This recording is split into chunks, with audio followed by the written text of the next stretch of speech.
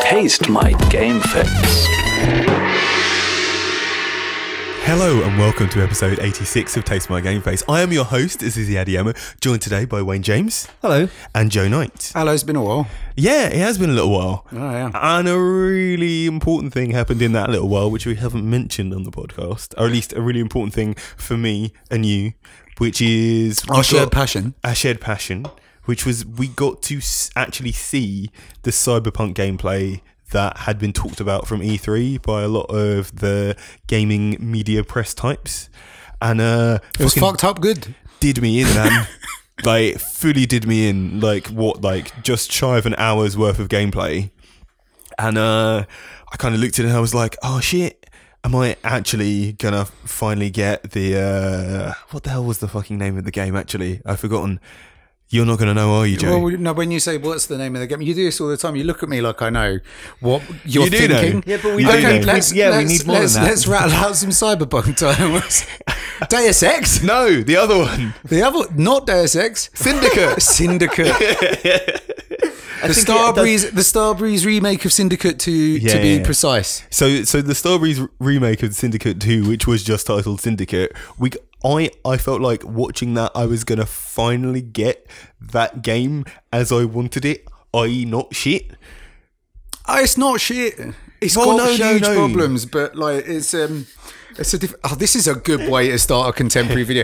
Do you know that really important thing where we saw that really new footage for that brand new game? Let's talk about Syndicate because it came out years ago. Because no one played it. yeah, I know. Um, but I, I don't know. Like, I think Syndicate is enjoyable. I, I got something out of it. it. Interestingly enough, like dubstep was a factor in that. Mm-hmm.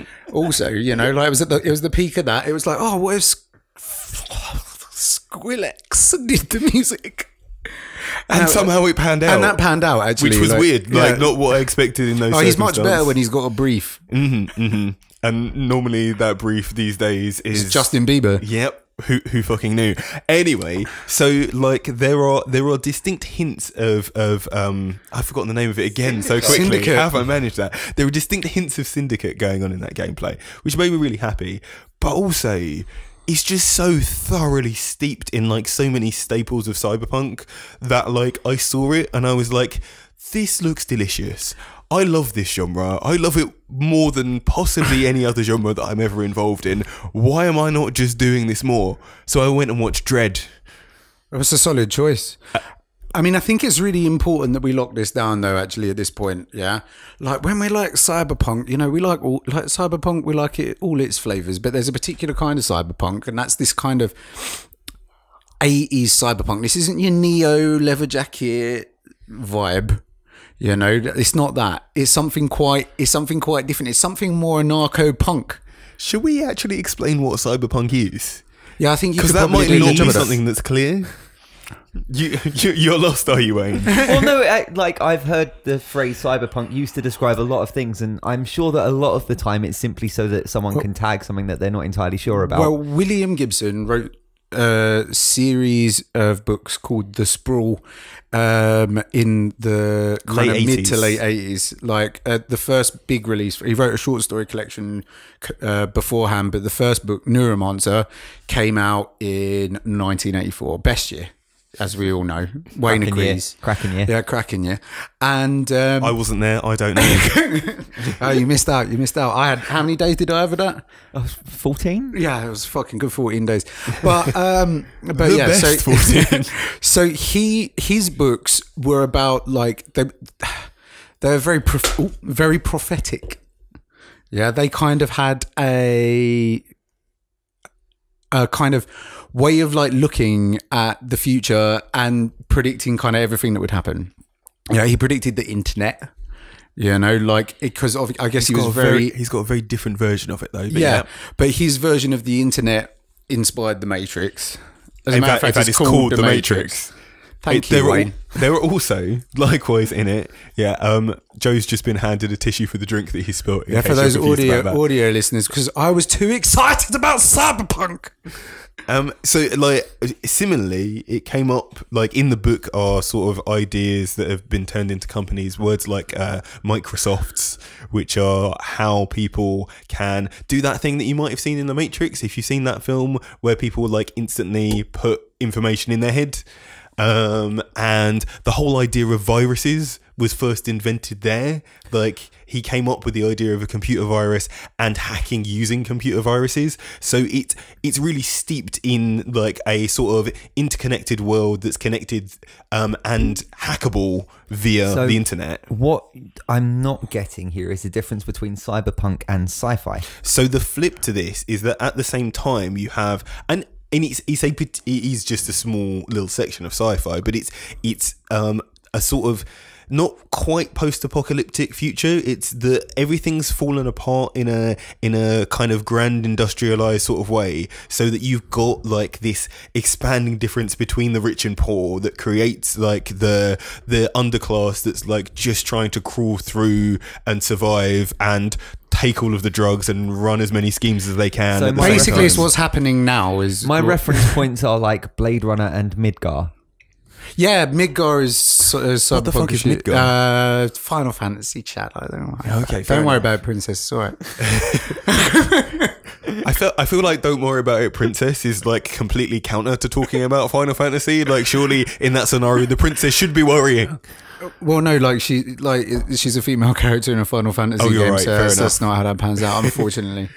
Um, yeah. So yeah, like it is. It's definitely Blade Runner or the book that it was based on, "Android Dream of Electric Sheep," is really quite cyberpunk, but missing some of the aspects of punk, missing some of the anarcho sentiment, the fuck the system, like everything is falling apart and you are going to spiral into madness in the middle of that and maybe somehow come up on top which is at the heart of like a Deus Ex which is at the heart of like the old and the new syndicates and which has kind of crept more and more in subtle ways into other games. Like I think one of the things about Mirror's Edge is that it is cyberpunk but in a subtle way. It isn't quite so overtly like black leather coats and neon but the themes that it's about are inherently cyberpunk. And also so is the idea of emerging AI. And I think that that is something that we've seen woven through the themes of a lot of these games as well. And I am always quite excited by. So, can I then, having cleared up what cyberpunk means to you guys, can I drag us for a second onto the trailer itself? I've mm-hmm. not seen it, so what about it evokes these feelings for you? Oh, it's absolutely everything. So the it's like there's a look. It's fucking neon, super neon. Everything's glowing and buzzing. The characters are all kind of like they've all got this kind of like punk aesthetic, like little bits of wiring like dangling off the side of their head where they've had a chip bomber put in. Yeah, bomber jackets or like dungarees with no top on, like mohawks, stuff like that. Like it's a, it's got very kind of Judge Dredd kind yeah, of because it's vibe. not because there are all different flavors of cyberpunk, and uh, some of them are more slick, and this one's like way more aggro. It feels way more eighties cyberpunk, like to its core. And like one of the particular things that's really interesting about it, in terms of what they showed, like who knows whether they'll succeed in doing this or not. But the crowds in the world, you don't see very many characters looking at all similar. Everybody's trying to have a distinct, fucking outrageous style, and there are like shitloads of people populating the streets in that world, and they all look fucking cool as hell and uh, different. And if you imagine, like, because taking CD Projekt Projekt Red's last game, The Witcher, and like how beautiful and full of verdant fields, but very sparse characters like left around. Imagine if you like took that game and squeezed it into a little box and then made it vertical. So everyone's living in these high rises that are like super huge, mega towers. You know, corporations like existing in the penthouses on top of them, controlling the traffic of like new microchips and skill sets and the drugs cartels and balancing those out against each other inside these mega structures. Like it's just phenomenal. Like what the the achievement that they've done is amazing, and the way that your character kind of seems to be able to interact with the world is also really good. Like there's a lot uh, your character gets called out by name by a lot of people that you're as you're walking through the world. As you walk through the world, the um the advertisements on the side of a building will change to address your character directly because they know who you are because you're a location chip when you're walking past.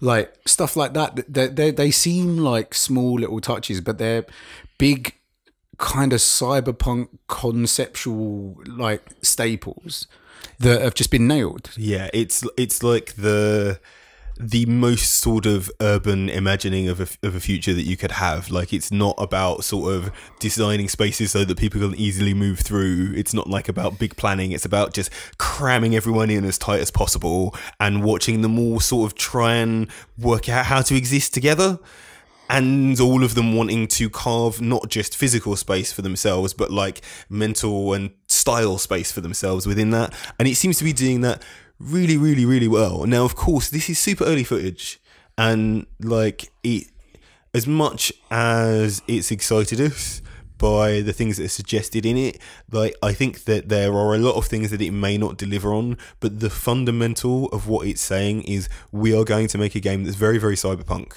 and we're going to make it. I mean, it's the name, right? Yeah, I was And- going to say, I hope so. oh, it would be so good though if it was just like on a boat. um, and and we're gonna and we're gonna do good writing with that. We're gonna write to that, and like that sort of approach. And the thing and the thing that's required there as well with cyberpunk is that it has to be about mature themes. It has to be about like sex and violence and drugs and trying to somehow maintain being a reasonable human like torn between all of those things But cyberpunk, like innately, also like is about all of those themes. But those are themes that we get in like a lot of things. They're the same themes as you get in like a Grand Theft Auto. But one of the really important things about like cyberpunk as a genre is it's about the instant disposability of any sort of commodity of anything. So you know your sex, drugs, and money, uh, things that can just that they're there one minute, gone the next. Everything's disposable. You, you know you're just drinking Red Bulls and eating ramen all day. Like that's that's what you do when you're a cyberpunk man. You know, like there's, there's nothing. a cyberpunkman yeah i love it i love it um, So I, that one like, so we've got a lot of feeling. I understand the mood, but how much? It was a gameplay trailer, right? Yeah. So what do we understand of the gameplay? quite a lot from what they showed Yeah, there's um so it's quite hard to kind of pin the combat system down. So first and foremost it's a first person shooter. Right? Right. So Or I mean, yes, and I mean, like it's It's it's, more- an immersive sim more uh, more than a shooter. I think. Okay, I think well, it's I mean, more I- like, Deus I- Ex I- yeah, than I think Call like of Duty. talking about mechanics though, like I think you could also get away with saying that mechanically Deus Ex is a first person shooter. Yeah. yeah, like um, and that's what that's kind of where I'm going with it. And I think that um, I mean, it's got some it's it's got some interesting things. Like you shoot at an enemy. Obviously, this game is based on a it's based on a pen and paper RPG. called Cyberpunk 2020. Yeah, and that um, so when you're shooting at an enemy, there are like numbers coming out of them, showing you like the damage and stuff. Interestingly, though, in the pen and paper RPG, the the combat that happens if you get into a shootout, it isn't like that. It's it's way more frenetic. It is if someone fires a gun, someone's probably gonna fucking die. Like you don't get that sort of uh wearing people down thing that you get in Dungeons and Dragons. Like the the combat is supposed to be more realistic, I suppose, but more Ghost in a Shell realistic. Like guns that fire too many bullets too quickly and shit goes awry real fucking fast if you're not in control of the situation. But yeah, but the game looks to be geared more to being a shooter that people who maybe aren't so incredibly proficient in shooters are capable of playing and enjoying. And there's lots of ways to modify that as well for your experience. Like in the gameplay like demo that we saw, there was a and I was quite happy with this. There's a lot of taking drugs. So you get you'll pull a little inhaler out of your pocket, you'll take one big like and it's got really good sound design. So your character's like, oh fuck, and then, like, and then like all of a sudden everything's slowed down. Yeah, know, so and the- you're like, and you're and you're like shooting away, getting like better critical hit damage and stuff like that. I, I mean, that's gorgeous for two reasons. First of all, that that is a mod that uh, I, I can't remember exactly what it's called in the nomenclature of the world, but that's something that exists in the 2020 game that used to be like a chip that um, could be installed in a person where they would experience life in slow motion all of the time, and they thought, how can we make this make gameplay sense? We wouldn't want the whole game to play out in slow motion, so we create this uh, um, inhaler for it, which is straight from the Dredd movie, Yeah. where the drug is called slow mo, and it is one of the most beautiful things to watch on screen. And they spent loads of time trying to work out how to make incredibly quick, gory fights look so abstracted that they were beautiful. So they slowed things down to one percent of normal speed, and they were like, right, let's smack a drug on that, and we can have that happen on screen. So double win. Yeah, and uh, this combat as it's playing out obviously is like super brutal and super violent. Like bits of the walls flying away. Like there's a bit where you sneak up on a guy who's trying to har- harvest kind of mods out of like a corpse, and you like grab him by the head, stick him in like stick him in a vat of water and shoot him. You know, like a point blank range to muffle the shot of the gun. I'm just going to caveat that it's not a corpse. That person's alive. Ah, that's true, isn't it? Yeah, that's that's kind of So it's even more fucked up. I assume it was n- to be corpse A corpse to be. corpseified soon. Aren't we all? Yeah. Thanks, Waine. Ugh, but yeah, so, um, but that's not the only like that's not the only way you're engaging with the world. So you've also got one of the things that I think is really interesting. It's got a very kind of dynamic conversation system by the looks of it. So if you can imagine, you're having that conversation in a video game and you're making lots of choices on your dialogue and you know it's stiff line stiff line stiff line going through. Then when you get to the end of the dialogue you know you're either fighting or they're giving you what you want right? That's kind of like often how it goes in those games. In this one the animations and stuff it's like that people are having a chat and then if people are saying the wrong thing people are like got these animations that are there for this where people are like starting to pull guns out and point them at each other but you're still chatting.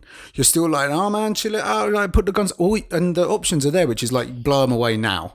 Yeah like that's always there. The, the option to just blow them the fuck away like is always present yeah like you can just you can just be like okay today that's it you know you could be chilling something out and then all of a sudden be like nah nah this is our hand now boom boom boom boom like So the specific scenario here, and like, and I really do recommend you watch it. Um, and apparently, from hearing Games Press talk about it, it could play out in a few different ways. But the specific scenario is you have gone into a um a sort of gang base.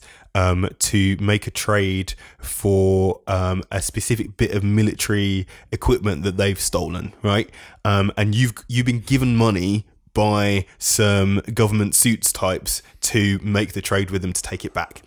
And you, uh, one of them ends up freaking out, uh, wondering where the fuck you've come from, why the hell you've got that money, and or actually not wondering why you've got that money, wondering if you've got that money, and then you are in a situation where you can start fighting it out, you can make the trade with them, or it turns out that the chip that you're going to give them with the money on also has a virus on it. If you found out about that, you can warn them and like just make the trade and walk out.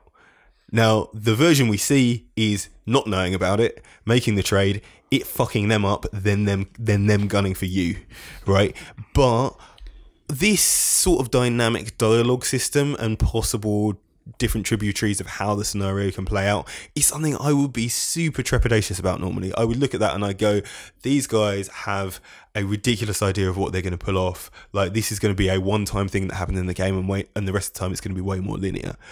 Thing is though, I've seen I've played The Witcher 3 and I was frankly astonished at multiple times at how successful CD Projekt were at pulling this off. Now, I am still very aware that they are setting the bar really high for them to actually manage to hit. But I feel like if there's any game development studio at the moment that's capable of approaching that, it's them. And also, even if they don't make it that far, it's going to be so cyberpunk that I'm not really sure I'll care that much. So, you know, It looks good. yeah, it looks like a good video game. Um, I couldn't be more excited for Cyberpunk. So both of us decided to read Neuromancer. Yeah, that's how excited we are. We've been like, oh, like I, th- I was thinking to myself, oh, do you know what? Do you know what I've never read? And I mean read. I've never read Akira. And I was like, oh, maybe I should good read. Akira. Maybe that's something that I should do whilst I'm on this cyberpunk thing. I've never read Ghost in the Shell. I should maybe do that. I've seen them. I've seen. I mean, I, actually, I did. I, I also watched Akira recently. After Oh, that, did you? Watched Dredd, watched Akira, started started reading um um Neuromancer. Um, I have been. What was the other one I was thinking of picking up? Oh, it's escaped me. But anyway, all of the cyberpunk. yeah, right now. Because to be honest, I want Oh, cyberpunk that was it. now. You know, you know what? Carbon. Yes. A Netflix series. It's a good book as well. Well, they both got strengths and weaknesses. I was thinking about getting back into that series. Um, there's a whole sort of interesting exploration of not just what it is to be at the bottom end of like the technological pile there, like as every as technology gets better, the rich man should do better and better for themselves, and they leave the poor behind. Everybody's kind of stuck scrabbling in the dirt. That's just where a lot of Cyberpunk spends most of its time. The nice thing about that particular series is they spend a lot of time with the people at the top as well, and you get to see how the same scenario fucks them up in a completely different way. That's kind of delicious. Zero point zero one percent. Yeah, the zero point zero zero one percent. Yeah, sure. Or the Mets, as they're called in that world. Oh, okay. Um, which is short for Methuselahs, people that live forever, Right, okay. which I kind of like. So yeah, Cyberpunk's great. Everyone should be about it. Get involved. Buy a leather jacket and some sunglasses. for, I mean, Hang hang hang out in Docklands with your sunglasses on. should I should I get a bomber jacket? Is is it too late? Would I would I look like an idiot or like a brilliant man? I, I, don't think know. you could. I think you could. You've got the body shape for a bomber jacket. you just need to get one with like some like I don't know some sort of sweet logo on the back of it. Something fluorescent, yeah, or like a or like an animal, like a dolphin or something. No, not a scorpion though. No, not a no, definitely not. But hey, um, I think that I've been doing that's not a cyberpunk though, because video games have been happening besides this. It turns out, I don't know why, is um having a go at the new Spider-Man game. Um, and Joe, just before recording, you told me that it's like managed to sell even better than God of War did. in, Yeah, like the three point three million copies in three days. That's insane. Yeah, that's like the record-breaking Sony first-party title of all time, which they're on a roll with at the moment. They've Yeah, already they're not doing smashed that this with year with fucking like their investors must be fucking laughing their way to the bank this year. Yes, I guess people really like Spider-Man. People love Spider-Man. He's everyone's hero, right? I mean, I'm not. I'm pretty keen on Spider Man. Like, Spider Man's the first like superhero that I gave a fuck about as like a tiny human. I was like, cl- I thought climbing around all of the time was the best thing ever, and a superhero that does that is my favorite superhero. Right? Yeah. Makes sense. I mean, you rock climb. Maybe you didn't feel anything like that, Waine. Well, I didn't at the time.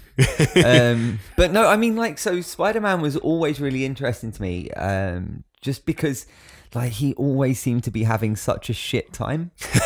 Yeah, his work-life balance is all fucked I- up. he's- he just, he he just never seemed like. Every so often, he gets kind of into the whole sort of being a spider, and any like just the briefest moment of hubris, and it all goes to shit for him. And so, I always found him quite an interesting character from that standpoint. Balanced on a knife edge. Um, yeah. So I've barely played any of it.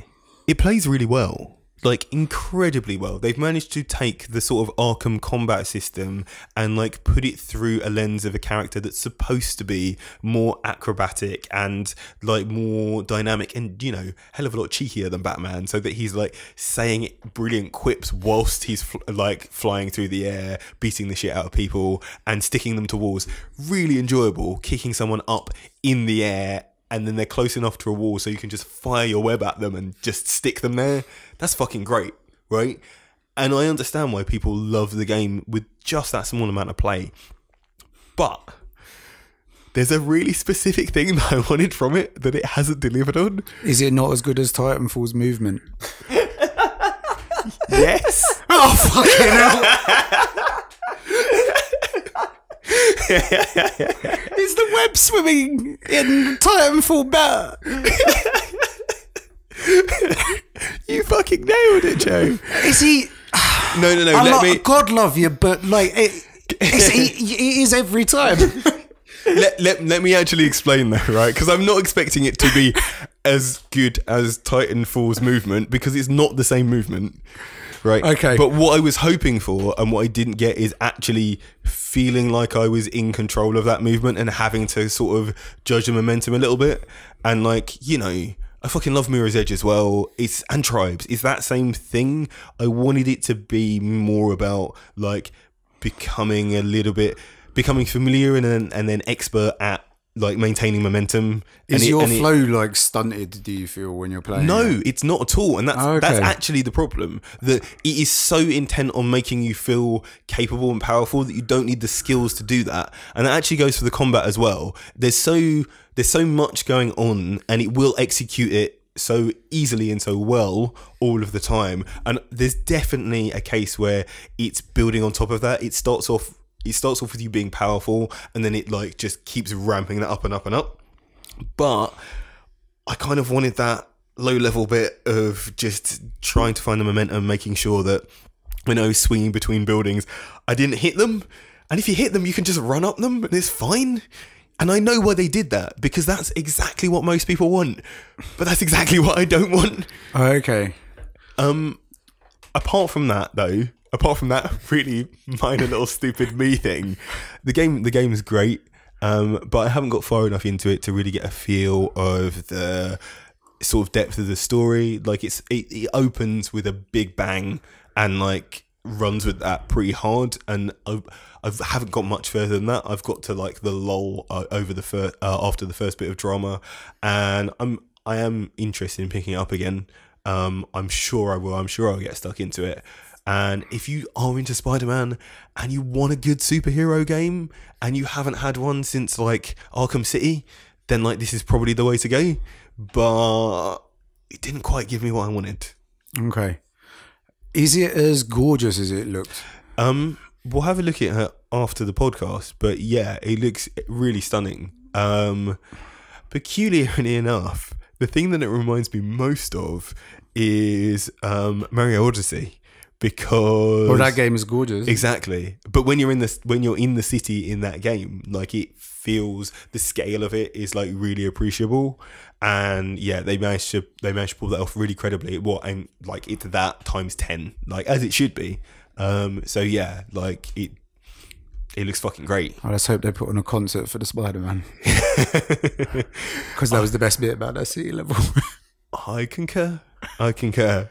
But hey, um anyway, like I, d- I actually don't have very much to say about it because I've barely played it. I'm also, I will say right now to people listening to this podcast, is that the, when uh, when Alan swings back in, it's going to be Spider Man all the time for a little while, and I'm sure that'll be like the next one or so. So you can play a little bit more and have it yeah, out. yeah. I know. I like. I mean, that's that's a significant part of why I started playing it was that I wanted to be able to have that conversation with Alan.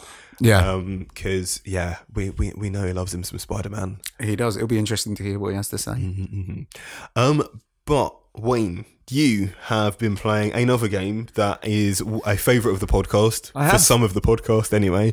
Um, so how has getting to a game that's only one year old now? Yeah, I know, I know. I'm catching up. Um, so last year, um, you guys talked um, very fondly of Hellblade: Senua's Sacrifice. Not all of us, Waine.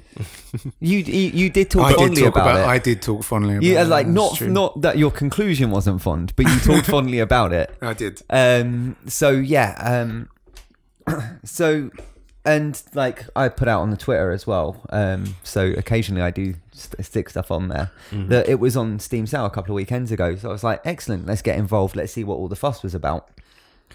Um, so I downloaded it. Uh, it was like twelve quid. Downloaded it overnight. Twelve pounds. Yeah, I know, Ridiculous. Oh fucking hell, that's great. Yeah. Um, stuck it on the next day, played it for about an hour, and then put it like went. Uh, put So- it down. I, I, I'll Okay, okay, I'll get there. I'll get there. Because Well, I was just gonna say that I found the opening quite compelling. Ah no no they're actually quite a long way from compelling, and that may be because my what I expected to experience was coloured by Our conversation. what I was hearing about it. Um, that the it, the very opening's quite compelling. Because I mean, like, we won't go too much into the sort of like details of what it does because there's a whole podcast on it. But you know, it's this exploration of like psychosis, but set in the sort of Norse mythology around like the Orkney Isles, and it's got like so it's got all of the references to the um like Viking gods and stuff, um, and lots of The lore best around gods. that. It's very niche Yeah. Viking gods as well, which is good. It's good to see it not being fucking Thor and Loki. Yeah, yeah, for yeah. a It is. change. It is. Um, but so, but like, so, like Joe recommended to me that I should play it with headphones on, Yeah. and it really was the shout because you've got. It does say on the fr- splash screen, but do take that seriously if you're picking it up and playing it for the first time. I mean, they, they they did something in particular with recording the audio, which is they used um, like microphones that had sort of ear shapes on them to try So- and c- replicate like the oddness of. Yeah, one of the few things I got from my music tech degree was the the creation of binaural. You actually stick them in something that's like you stick your microphones in something that has roughly the density of a head as well, Mm-hmm. so that the sort of like the sound feels like it's actually around you Mm-hmm. when you're there. It's um and it's really interesting and really compelling, and it does like.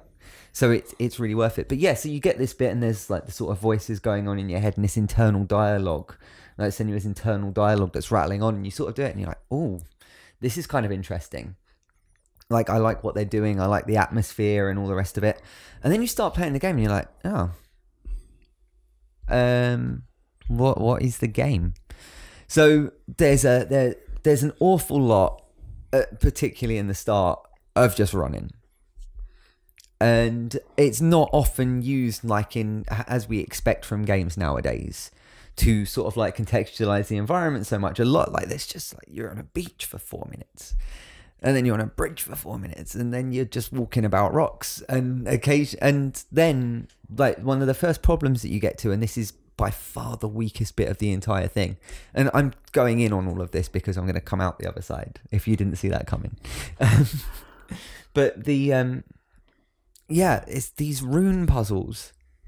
You come to doors and they're locked by runes. And what you have to do is go and explore the environment to find that shape somewhere in the environment. But it's kind of like a magic eye picture. Like it sort of pops out of like random elements of the scenery. And sometimes there are things that look just like it that aren't good enough. Mm-hmm. And there are other things. It's, it's maddening, isn't it? Yeah, like, it's- just it, you feel you're just sort of trying to find bits of the environment that are the right shape from the right angle. Yeah. It's it's stupid. Yeah, it- but thematically brilliant. Trying to look for some sort of sense in amongst a bunch of things that you can build your own personal narrative offers keys to No. unlock your further things. I think it, I I found it interesting from that perspective. It- it- no, it def- maddening as a gameplay. yeah, like, I mean, conceit. it definitely, it definitely is an interesting concept, and there are a few interesting concepts like, that don't necessarily hit from a gameplay sort of perspective. But that is the the very worst one. and what you end up doing is walking around until that sign comes up on screen, and then spin around until it just So happens to. to So work. I mean, like actually ca- camping out on those for a moment. Like if if you aren't go- if the spiel that you're heading towards is not a revelation just on them, then I have to say actually the fact that they are maddening is a really important part of the experience. That is what he is trying to make you feel. That is the game. I, I've Well, then that's the age-old question of whether or not video games being an arsehole for auti- uh, for autistic intent is is is justification enough. In this case, I feel that it 100% is, but it is a case by case basis. yeah, I also think they overdo it in Hellblade. yeah, actually, I, I, I personally. exactly. I think there's, I think, I think you're right. Like that idea is kind of cool, but there's ah, there doesn't need to be like there's thirteen better- of them. Like Yeah. three would be sufficient. and there are. I wouldn't have been pissed off by them if there were three, though. Oh, yeah. Oh, I don't know. Like I remember the third one, maybe the third one being particularly nasty. I remember spending a bunch of time standing on this I rampart. actually, I just looked one, looked a couple of them up online. I just got bored, and this is the thing. I disengaged. This is the worst. Okay, thing yeah, about yeah, it. yeah. It wasn't. It wasn't. Oh, this is like the first time I saw it because it's a very small arena. You're like, oh, this is an interesting puzzle, and it's kind of difficult and all the rest of it. But it just kind of gets bullshit. Oh, we're all fucking up here, aren't we? just, Just throw throw it on the floor. case on the floor. I bet, I, Um, bet, I bet it wasn't even picked up in the audio. You know, like everyone's gonna go, "What, yeah, what but the the hell are they video, talking I, I definitely did something there. so you know, um, but yeah, they um, and the combat when I started with it, I also found incredibly frustrating. I- Now, I love the combat. yeah, this is the thing, and when it's when the game started to turn round for me was when I hit the first boss. Who did you take first? Um, it was the uh, the the fire one, Oh. Sirt, Sirt or something like that. Oh, we did it the Yeah, other way, Sirt. but fair place. yeah, so you poor bastard, Val Ravens Ravensworth. Val Ravens, yeah, proper dick. Um, but Fucked Valravn up. Um, yeah, I mean, so I, a- after Valravn fucked me up a few Yeah. times. Like, let's, let's not pretend otherwise. doing it that way round, I didn't die at Valravn at all, so I was quite pleased with that at least. But yeah, and and then it all sort of clicked into play because there's no tutorials on the combat, right? There is a there is a this is this is the combat that you must die in towards the start of the game. Mm-hmm. Like you must lose to give you a sort of feel of the penalties and stuff Yeah. like that. But um, it doesn't tell you what you do. You sort of there's a or when you get to the pause menu, there are the controls there, but it doesn't um, it doesn't give you the sort of scope of your attacks in context. So you kind of play with them, and it takes a little while to find the timing windows. When you get it suddenly, and this is when it all started to come together for me as a game because um, um, I'll come back to that. But yeah, like then there was this flow, this sort of like energy, and it was all like it's felt like I was yeah, I was just enjoying it for once. It felt like I wasn't just doing it to progress the story anymore. I needed because throughout the whole thing, the whole concept, like perhaps I'm not so hot on all of the lore stones.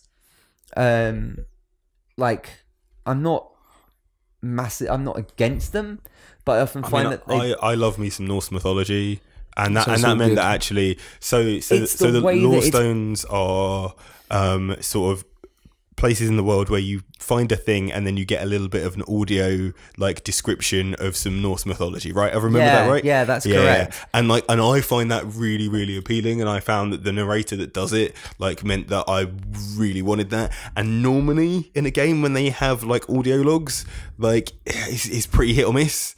It really it's is. how it's delivered that's the problem for me. I think I would have enjoyed it more if it was in bigger chunks to fill some of the empty space when you're wandering about. The sort of like finding some bits of the story when wandering around these arenas that are and this is the thing, it's it's a flawed game that I'm really enjoying. I've not finished it yet. But the concepts, the story, like the exploration are amazing. The sound design's really good. All of the voice acting's really good. But things like this, like I understand that there's a sort of thematic purpose to all of this. Like the, you've got these big arenas, but when you complete like these first two bosses, you have to just turn around and go back. And there is Yeah, but that fucking journey is the best. like that that is where I was playing the game and I was like, oh, it's fucking on now. This fits into place. Now I understand the whole sort of feel of the game, the struggle that's trying to be de- described, and my value, like what I'm, what the what Senua is gaining from pushing against it. Like I, I had been brought completely into where she was. Let's let's be in, be honest. Like a lot of that has to do with how fucking good the music is when you're going over that bridge. Uh, yeah, fully. push, no, the push forward does that though. The push into these arenas does, and I I don't want to be warped or teleported or anything, but like Dark Souls, those sorts of games are a very good example of how you can keep that sort of like Oh, the puzzle forwards box, momentum. like level Yeah, design, where everything this- folds back where in on itself. But Waine, they don't cost twelve pounds. I don't know, no, No, but no. My my my argument here is I- that it's it was positioned to be a game that managed to reach the heights of AAA, but being made on a much smaller budget. I don't- that they don't ask for you to put down so much money because they know that their game isn't managing to hit things in every way but the key notes that it does hit are so so clear so very I important don't. that I it don't doesn't matter think. I don't think actually that asking for the level to sort of be a semicircle rather than a straight line is something that's going to cost a huge amount. Semicircles cost money, man. I, I like that, which is effectively the difference in what we're saying. Don't get me wrong. Yeah, there's there's like like ideas, missteps, all the rest of it. But actually, it I never get a feel for this, and I know that it's gone through some iterations. Yeah. But I never get a feel for. I mean, occasionally, like there's a couple of like bits that I do put down to that. Occasionally, the detection on certain actions isn't very good, and that's a shame because you know it's sort of like oh does this door open or not i'm not sure if it's just being janky or if it's not a way that i can go Mm-hmm. there's things like that that i do put down to that but this is a this is a basic level design thing and you know we we expect even Mm-hmm. It's our not three pound having video the, games the money to do another art pass. Yeah. It's about yeah. in fact it would be smaller Mm-hmm. like the level would be smaller so you'd have less draw distance that you'd have to take into account everywhere Mm-hmm. um but i mean as it's gone on the levels themselves have become more and more compelling it's become a lot better at giving you the feeling that you like that it is trying to provide through the gameplay rather than in in almost in spite of it I feel like early on, the gameplay was almost like a barrier to me learning more about the story, and so it was feeling a bit FPXy. Remember my complaints about the old FPXs? Yeah, it has a. It definitely at points has a kind of walking simulator vibe that it falls into. Yeah. Um, whereas as as it's gone on, more and more I'm growing into.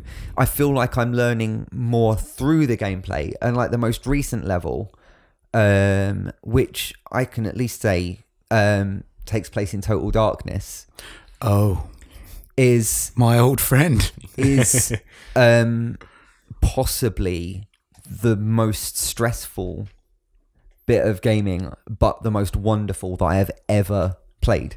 It really was absolutely sensational. Um That's a shame.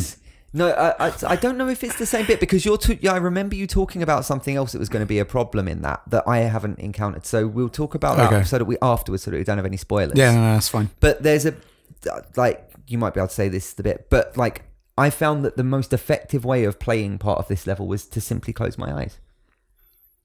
Oh. And this now I know where you're talking Yeah. about. Yeah, no, I I thought you were talking. No, it's not the same place. No, I know where it stuck is, there. yeah. yeah, yeah. yeah. uh, and yeah, uh, just yeah, Mm-hmm. and it was so so well done, and the tension and the fear, but also the sort of like internal dialogue. It tied together, and it I for the first time, it wasn't just that I was watching the story; I was in it, I was feeling it, and the- Okay, yeah, yeah, yeah, yeah. And and I guess that's what I'm talking about. Like I I found that like very soon after beating those two bosses, and like from that point on, the game completely had me. Yeah. Um, and and I was completely in love with it at the same time as having the hardest time playing it because it wants it wants you to have a difficult time. yeah, yeah, Um, it is it is incredibly stressful. But it's times. incre- incredibly compelling at the same time and that's and that is actually a really difficult thing to find like to create a stress that you want to consistently throw yourself into um is yeah like a fucking art and that i mean I, I think that was the most important game of was it last year that it came It out? was last yeah, year, yeah. Uh, like I think it was the most important game. I'm not sure if it was the best game, but I think it was the most important game of last year. I think I think we're actually like up on. It was the end of August Mm-hmm. last Yeah. year, so it's just been a year. Um, so I'm really glad to that you've got slowly got to thinking that it actually might be pretty good as got, well. Having got over the bump, like there, like I said, there are a few bits that are frustrating, but I sort of mentioned them in context with my thing to say, kind of like if someone else is picking it up and going, "What is this jank?" Uh, no, I agree, but it's worth persevering. Um, I would say that there's there's a really good thing about it, which is that um, once you have played the game and you've got an idea of the whole piece, then there is a sort of making of documentary thing that comes with the game Yeah, that's I- worth watching afterwards as well. I certainly will do. yeah, but, but, you'd I've save it for afterwards. first. save it for afterwards. But yeah, um, yeah. I mean, it's just it's it's fucking great. It's pretty much all I have to say. Um, and yeah, and I'm super glad that you're that you're coming around to it too. Sweet. So, I guess another game series that has made itself about sort of the struggle of a particular sort of charismatic heroine um, is Tomb Raider. Um, Yeah, that's and, the, one of the things it's about. and the new, I mean, but like the first of the new Tomb Raiders has been that. As Fucking more than shooting animals in the face, like big game hunter style, is also thematic. So the third one's out, and I guess you've been doing that then, Joe. Yeah, of course. Because you know, whilst everyone's playing good video games like Spider Man, I'm gonna get the new Tomb Raider, you know, because I'm that kind of dude. Um, it's cool. Like, it's quite. It's been an interesting development. Um, I think personally that Tomb Raider right now is getting quite a lot of flack for like not being Spider Man or God of War. Um, I mean, I sort of feel that it's the largest thing that it's got going against it is not being The Last of Us, but then that's the largest thing every video game's got going against it. Yeah, but and also like that's less relevant in the current climate than it was. I, like Yeah. things are being judged much more against things like un, Uncharted Four and God of like any PlayStation exclusive is generally the barometer that uh, video games are now measured by. Um, but yeah, like it's interesting. So in this one, uh, Lara finds herself uh, on the trail of a dagger that she's trying to like get from, uh, like stop this evil kind of religious zealot, weird, corporately structured mercenary army called uh, Trinity from grabbing hold of. They were the kind of villainous shadow organization in the in the first couple of games that alluded to in the first one, and then the main villains of the second. Lot. It's all set in Mexico. It starts with a very lovely level where you're walking through a Day of the Dead, having chats with your your top boy Jonah, who's been with you since the start, and you're kind of working your way through to find this tomb and uh, like this might this is a very short bit of game but really this is the setup for the entire plot lara, lara gets said dagger and shit goes sideways casting lara into this kind of position of doubt you know where she's like i am so single-mindedly focused and the characters around her her friends interestingly in the dialogue because it's it's actually it slipped more into something we've talked about before. The the kind of overarching story of this video game is terrible. yeah. The writing is better than it ever has been. There are conversations that the characters have, um, concepts in what they're trying to do with cutscenes. Like, you know, people are telling Lara that it's not all about her and that she's stupid and that, you know, like really her single mindedness when you could be doing better elsewhere is like a real problem. And it's like coming from like her deep bros that you've like been with for like all of the games. Like that stuff's great. It's just a shame that this story is a confused mess. I think that might have come from Square Enix's resource change. Mm-hmm. I, I, I think taking Crystal Dynamics off of it to put them on whatever this Avengers game is going to be that we have seen nothing of because it's in Square Enix development hell, and bringing every and bringing game. Eidos Montreal from the fresh off of uh, Deus Ex Invisible Wars DLC, straight slap bang into that, and almost twisting the entire project around has really left a lot of people, I think, standing there with their hands in their air like this. going, I, I don't know what I'm doing. Like we like I mean, you brought the team that can write. But but what is there to write? But you know what? Whatever little there is there, We're gonna they're write the- writing the fucking shit out of it. Like, um, but like, I mean, one of the complaints that's always been put against Tomb Raider, which I think is has an amusing thing that's happened this time, is uh, Tomb Raider was almost the game that coined the phrase ludo narrative dissonance. Boo, his bad word. Like you know, like gamers hate it, but you know, it had a it had an element of truth within Tomb Raider. They've tried really hard to uh, lessen combat. So I played I played like four hours, five hours in my first session. Yeah, two combat encounters. Right, like rest of it, me versus the jungles, the tombs, but not even like wild animals. Like this first five hours, just being stalked by one jaguar Oh fuck. keeps turning up. Oh, now you're now you're making you're making it sound like a game I want to play. dude, it's, it's fucking awesome. The beginning of this game, like, and like but it's it's really good. It's really compelling. Like it's much more about the survival stuff. It's much more about like your hunting and your like looking around and your way of being able to tell the environments. Uh, it's always had these challenge tombs in them. In the new, in, since the reboot, it's had these challenge tombs that is placed sporadically around the map. Now those challenge tombs are much bigger affairs, huge kind of big puzzles and there's a new thing called crypts, which and the crypts are kind of like mini tombs. That and there's loads of them dotted around, but each one containing a different puzzle and a different lick of paint, um, which usually ends in some high, well, some kind of armor, which is another new thing. You end up getting armor that you can build out of your resources that give you not stat upgrades but perks. You know, so I've made some boots out of this um, I've that from this particular tribe, and these give me like quiet walking in the jungle, or they I'm wearing this cloak that like helps me harvest from birds. I mean, it doesn't make much fucking sense, but like, but like, it's nice that then it's about modifying your playstyle. It's not about this one is the better one. It's like, what do I need now? Yep. And I always prefer that to bigger numbers because I, I, what's the point? Yeah. Yeah, that's always a bit more imaginative. And um, but I guess one of its new big things is once you're through this five hours getting used to it, you're then thrown into a town. And now when you're in this town, that's where ludo narrative dissonance rears its ugly head again.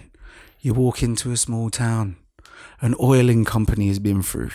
And Laura's going around and she's talking to the people now. There's loads of people to talk to, lots of side quests to get. And you know, you're like, you're like, oh, what's going on? And they're like, it's terrible. Like I'm having, I'm having a terrible time. Like they, they came here, they've taken our oil, they've stolen our relics, and Laura's like, oh, this is so terrible. This is a terrible thing. I would never. Oh, I will sort all of this out for you.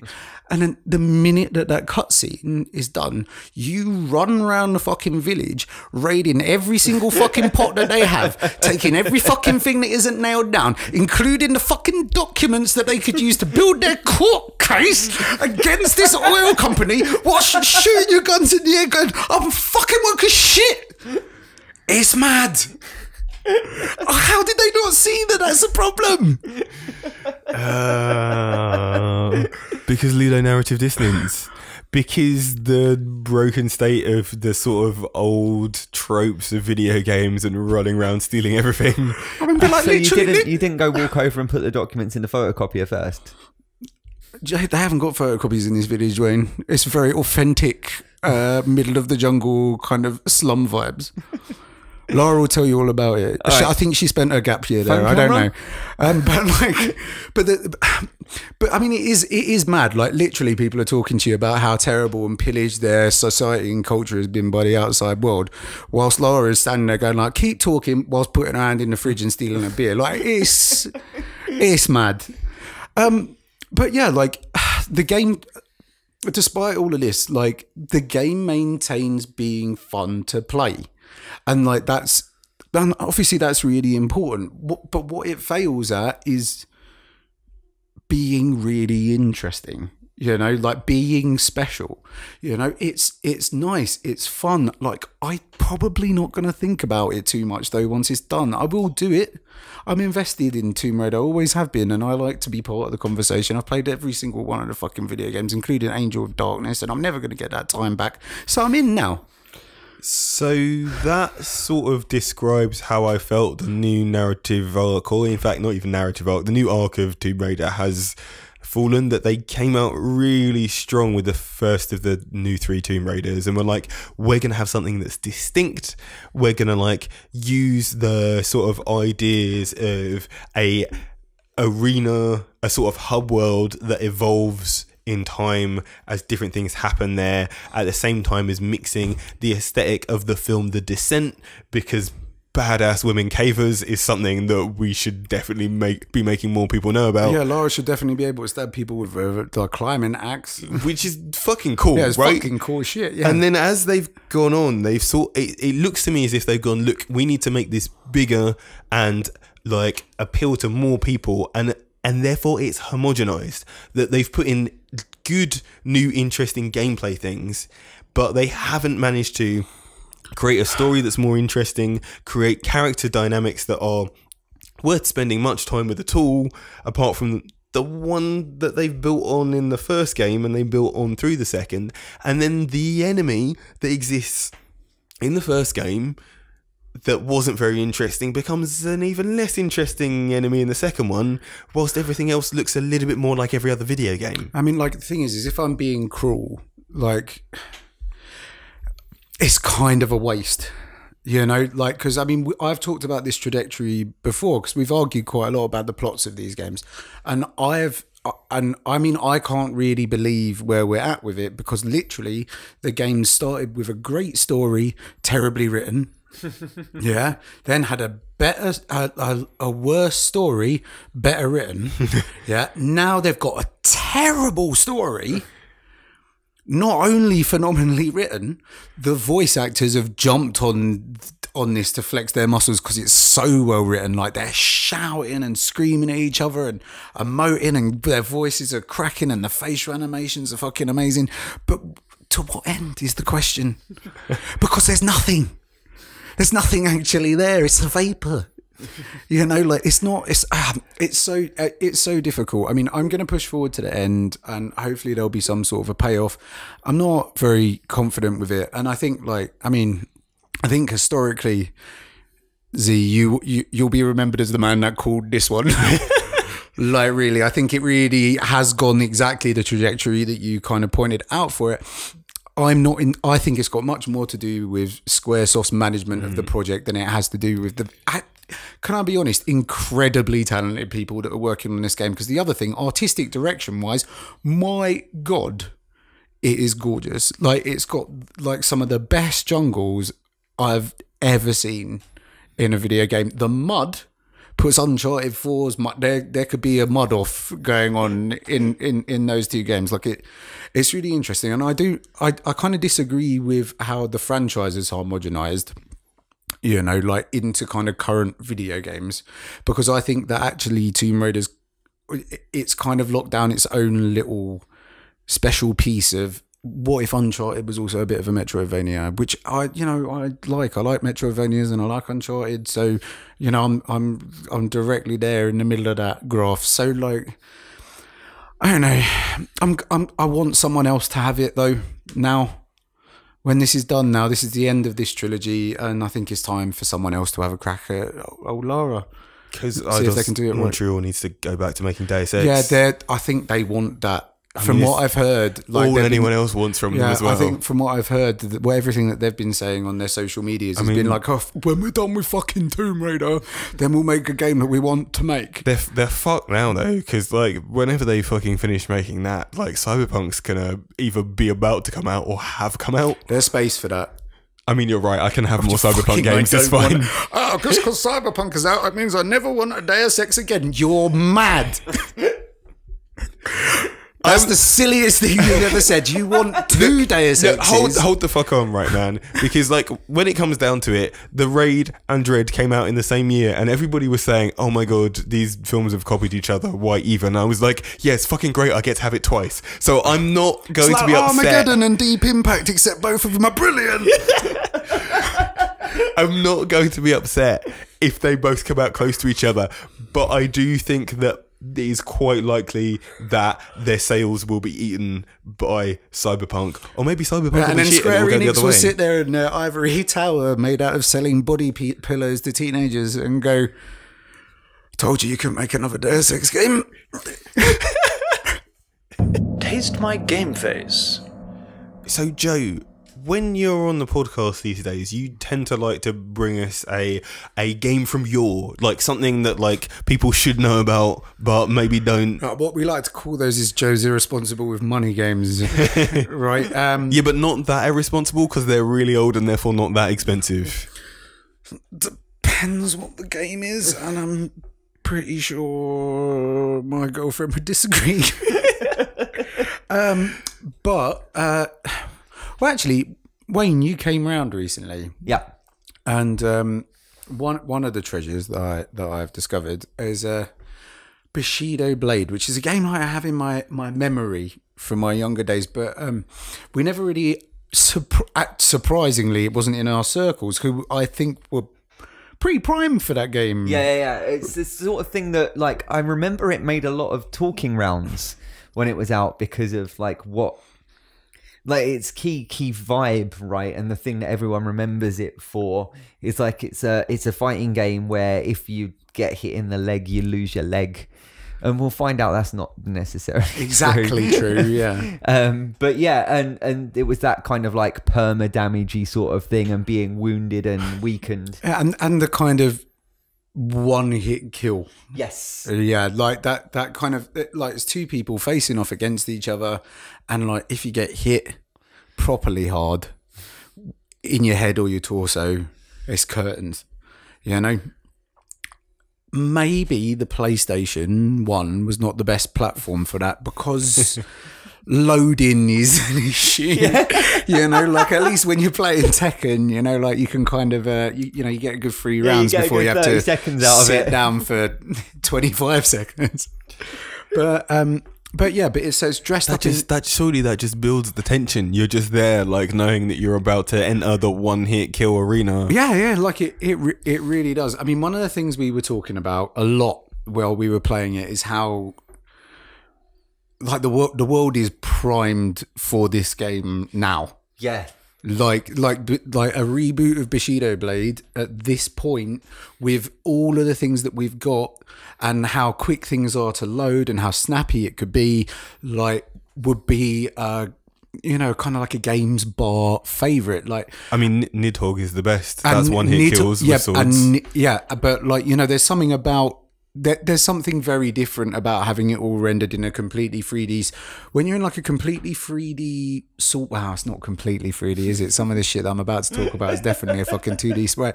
But when you're in a when you're on a 3D square of green with no definition, oh, ju- and ju- there are just two- green. Yeah, then. and there are two dimensional bamboo forest. that as you swing your sword, they cut in half and fall down. Like, because I think one of the things that me and you, Waine, can do, which is one of the reasons why retro is very important to us, is um, we can take ourselves back. Yes. Yeah, and like like we can see how it was awesome, you know, like how like it was was the most amazing thing. I ask myself this, like about this game. I have been asking myself since we played it whether or not I would have thought it was awesome at the time. Because there are things like the bamboo cutting that we were like, my god, we would have absolutely blown our minds out. Like we would have, we, we would have been running around the streets going, "I got the bamboo! This is amazing!" Um, All you'd have been moaning about is saying it was an unnecessary gameplay feature, like you did about everything Hideo Kojima put into his games. No, I, the thing is, I don't mind unnecessary features as long as there's an actual game behind it, and that Yeah, was my problem yeah, with you- Metal Gear Solid 2. Yeah, you had it in for them flags. I really did. The fucking pull-ups. The fuck? Why? Uh, anyway, Oh, I mean, there's a lot of bad things to say about flags in video games. I'm looking at you, Assassin's Creed. Oh Jesus Christ, those were some bad flags. But yeah, so Bushido Blade, we set ourselves in and got real comfy with it.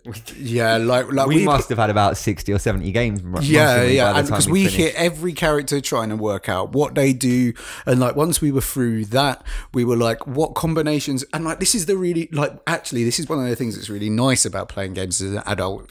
It's like we were sitting there and we were like, not what's gonna win. We were like, what would be a what would be a weird pairing of weapons to have up against each other? Yeah. you know, like what? And it didn't matter if like one of us had the advan- the distinctive because we don't know what the fuck we're doing with Bushido Blade. So anyway, we're playing Bushido Blade and we're playing for about 45 minutes. That's not a complete session. This is how long we were playing it before Waine realized you could jump. yeah? Because while I was in the toilet, he, he cheated and read the instruction manual. Yeah, because that's that's that's a Waine. not That's a no, it's a fucking fully Waine move. Oh, if it's there, he's going to use it. Oh, yeah Oh, that son of a bitch. to jump, you have to double tap forward, press circle. No, is it, It was R1 and R2? L1. R1 and it was L1. like forward, forward, R1, L1, but as a flow. yeah, as You a, couldn't, you So- couldn't press. So, so that's like taking two steps forward and then like one step to the jump and then the other one in the jump, Yeah, right? oh, but mate, mate, the jump was incredible. Because we're playing this game, right, which is about two people sword fighting in a field, yeah, right. And we, as I say, we've been playing for ages. And then when I say jump, it's like man just goes fucking full crouching tiger and just goes whoop, straight up into the ceiling. And like I was like, what the fuck is that? Like, I thought it had broken for a you end, second. up, you end up about 15 yards away, don't you? It's like it's, It's a dis- it's a distance closer.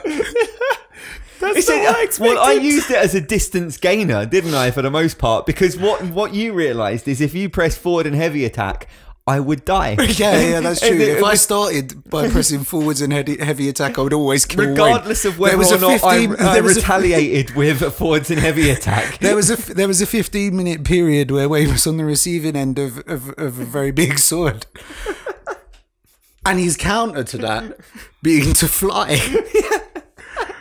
Get over, and then obviously I didn't know what the fuck was going on, so he instantly cracked me in the back of the head because actually turning around is difficult. yeah. Like that's that's no that's no easy easy thing to achieve in Bushido Blade. Because the other thing to mention is it's quite an early PlayStation One game, and um, it's um, it's by Square Enix. Well, it's Square Soft at the time, but what we now know as Square Enix.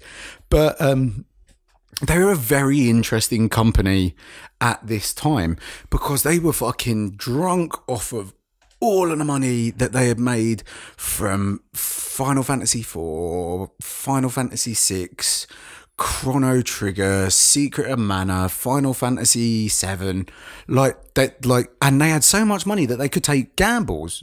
Like they made fighting games. They made like three, four fighting games for the PS One. They made a, they made a scrolling shooter. They made a Zelda like, like they, they just, they, they were just making interesting shit all the time. And what's really fascinating about Bushido Blade is Bushido Blade is a fucking curiosity piece in the subgenre of being a fighter. Like, I, it must have been hard to kind of convince people that that was a good idea at the time. Like a fighting game where you just take one hit.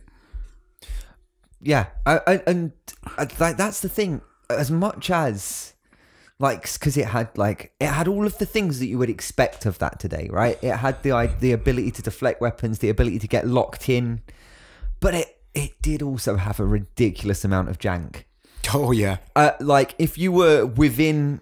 If you were within a sort of, you know, center circle, penalty area sort of space of a wall, your sword would probably collide with it when you swung it, regardless of which direction you were pointing. Sometimes you could have your opponent backed into a wall and miss them and hit the wall.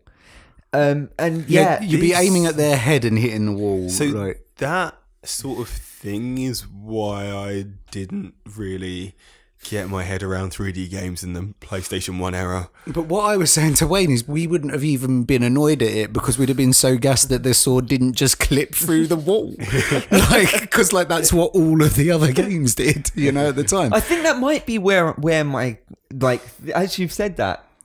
Maybe it was because I did rather expect the sword to clip through the wall, and I was wondering why it wasn't because that's how I would approach games like that from that era. But yeah, I mean, it, it is it's just begging for it is begging for a re-release because all of the all of the mechanics, all of the thoughts were there.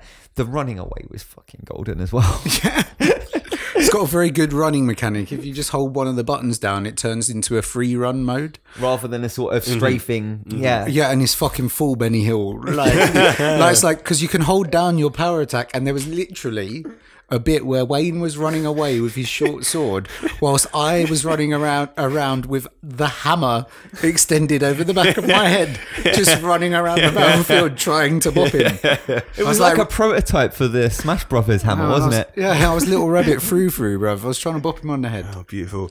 Um, I've just remembered something really important to this conversation, which is today, the podcast, the day that the podcast comes out, this episode of the podcast comes out, there is another one hit kill game that is being released on Switch. Towerfall, baby. Is that out today? Yeah. Yeah. Today in the future. Today in the future. So, Okay. so if you're listening to this, you can get Towerfall on Switch if you have a Switch, and you damn well should because it's fucking great.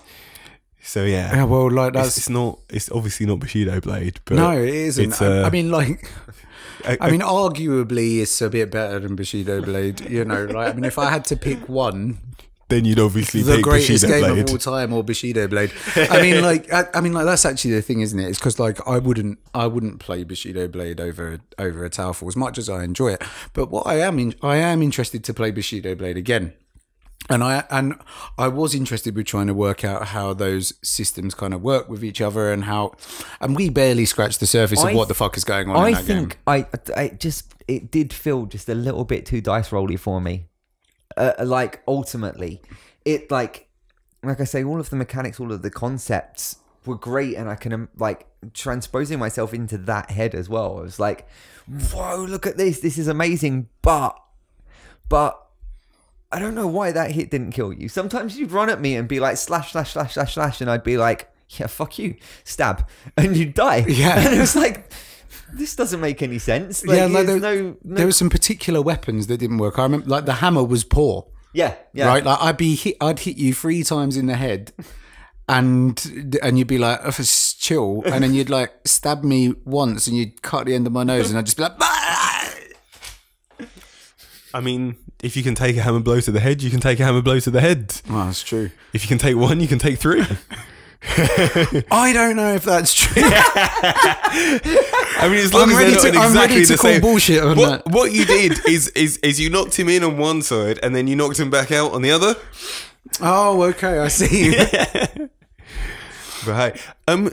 So, are there any other PlayStation One games that you're looking forward to playing in the near future? It's funny you should say that because. As of yesterday, pre-orders went live for the PlayStation Classic Mini. Can I clarify? This isn't yesterday in the future. No, this isn't yesterday in the future. This is yesterday in the RL. So, yesterday in the Or cur- past, the people no, who are or listening. It, or is it the CT, the current timeline? I don't know. But anyway, Uh, we're, de- we're dealing with actual time here. I'm asking you, you, you, you two are both physics. I mean, like, how does this work with Minkowski and space time and uh, and space time geodesics? Stop it. That's the best response. That's the best response to that I could have hoped for. So anyway, tiny PlayStations are coming to you in at just before Christmas. Um, they cost ninety pounds, which I think is a little bit steep. yeah, Actually, I, I'd, I'd agree with that. uh, they've got Ninety. Yeah, that's as much as they cost originally. Th- They actually have games built in though. At the at the end of their lifespan. I think you- you're paying for you're paying in effect for the software, yeah. right? You, um, it doesn't even take discs, does it? You're No, no, it's able- too too too tiny for that. Yeah, but then remember the PS1. It was like fucking almost a credit card, and still you could. It was just about big enough for a CD, and it would still work. It's quite possible that people have no idea what you mean when you say PS1 there because they're like, aren't you aren't you talking about the PlayStation One, the PlayStation Classic No, he's- being he's the talking- PlayStation he's One? t- He's, talking about the pearly white Discman, pretty Yeah, much, right? was- like, like you could put it, So- al- it almost in your back pocket. Because remember, at the time that the PlayStation was released, it was called the PlayStation because there weren't any more of them. Uh, it was it was sometimes colloquially referred to as the PSX as well. Yeah, Yes. but that that was I like I think that was after the PS2 came out as well. Yeah, I'm not sure if it was after the PS2, but it was definitely to sort approaching of it. like, yeah. Mm-hmm. yeah, approaching it to sort of like distinguish it. And then there that was the based on its sort of code name. But yeah, but then the PS1, it one spelt, you know, Is this the same only, like generation that the Xbox One is from? no, no, uh, because that would have been time travel again. I mean, if anybody could. If you, I mean, like, don't get me into light cones. I know you're trying to drag me there, but they all point towards the singularity. so But the amazing thing about this is you now don't have to go back in time to play Jumping Flash. It comes preloaded on the console. We were just working out how to help you do that. no, no, no. So I, I It's all right, Sony, you got me, bro. but they've announced five games, haven't they? yeah, they have. So we've got Final Fantasy VII, Jumping Flash, Ridge Racer, Type uh, four. Type 4, Tekken 3, and my mystery game. that I cannot One other remember. game. Um, and uh, I'm, I mean, like, I'm excited because you know I'm, I, I've been regarding Jumping Flash for quite a long time as a game that I want to play. It's and probably still going to be cheaper to just buy the disc. for that one, Yeah. But, hold on, hold the fuck on a second. I don't know what Jumping Flash is. Help me out here. Oh, I'm so glad you asked. Jumping Flash is a game where you play a robot rabbit that's really, really, really big. There goes another drink. I'm excited about Jumping Flash, and um, and basically you kind of uh, you kind of jump, right? That's your thing. You're a rabbit. What do rabbits do? They jump. So you jump straight up into the air, and then you use your kind of mechanics to glide you down onto 3D platform space. It was a very early 3D platformer. Um, it's but also from the time where people didn't really know what they were doing with that. So it's a very unique 3D platformer. Um, and uh, as a curiosity piece, it's been something I've always been very interested in playing. Like the aesthetic of it is very Japanese, very weird, but also kind of charming, you know? I think that anyone that actually had a PlayStation around the time of its release might have vague memories of it from Demo 1 Yeah. because it was one of the games that was pre was loaded onto the demo disc that came with the console. Um, So anybody that's your like the the specific age difference that we have is key here. Yes. Because although I knew many people that had a PlayStation, right, in terms of actually remembering dealing with demo disc one rather than the video games that I ended up playing on those PlayStations after the fact, no fucking idea. Those extra four years you guys have on me are key here. Well, I mean, like we spent a lot of time getting demo discs. Yeah, we spent a lot of time. I spent a lot of time playing Demo One because mm. we bought two games with a console, did those, and then couldn't afford any more games. Yeah. So- Those were the days. Yeah, I mean, like I had a subscription to PSM, and they sent me a new demo disc every month, which is predominantly what I played. And I'm not gonna lie, the demo of the Ghost in the Shell game, I had so so much fun playing over and over and over again. Interesting that you should mention them because that Ghost in the Shell game was the game that this company made after they made Jumping Flash 2. Ah. Yeah, it's all connected. Do you think that on the PlayStation Classic Mini we will get Terra Incognita? I think Net Yaroze games are probably off the table. Um, that's Go. uh, is it, I am very, very scary. Yeah, very, very scary. So this is a particular. Uh, what what Waine has done is he's made an incredibly in joke about the fact that me and Waine had access to indie games. Well, so are they even indie games? No, they're Yeah, not. they are indie games, Okay, so games that are made, but they were by- never properly released. Yeah. Is the problem, right? the demo discs that we had, they'd always put these. They had a particular PlayStation that came out that was like a dev kit called the Net Yaroze. Yeah, and the Net Yaroze would let you design your own games. Some of them were Terra Incognita. Others were Hovercar Racer, which was fantastic. The angriest Waine has ever been at me has been when we were playing Hovercar Racer. You know, like it's it's it, they were they were good, but we said obviously we had that child patience.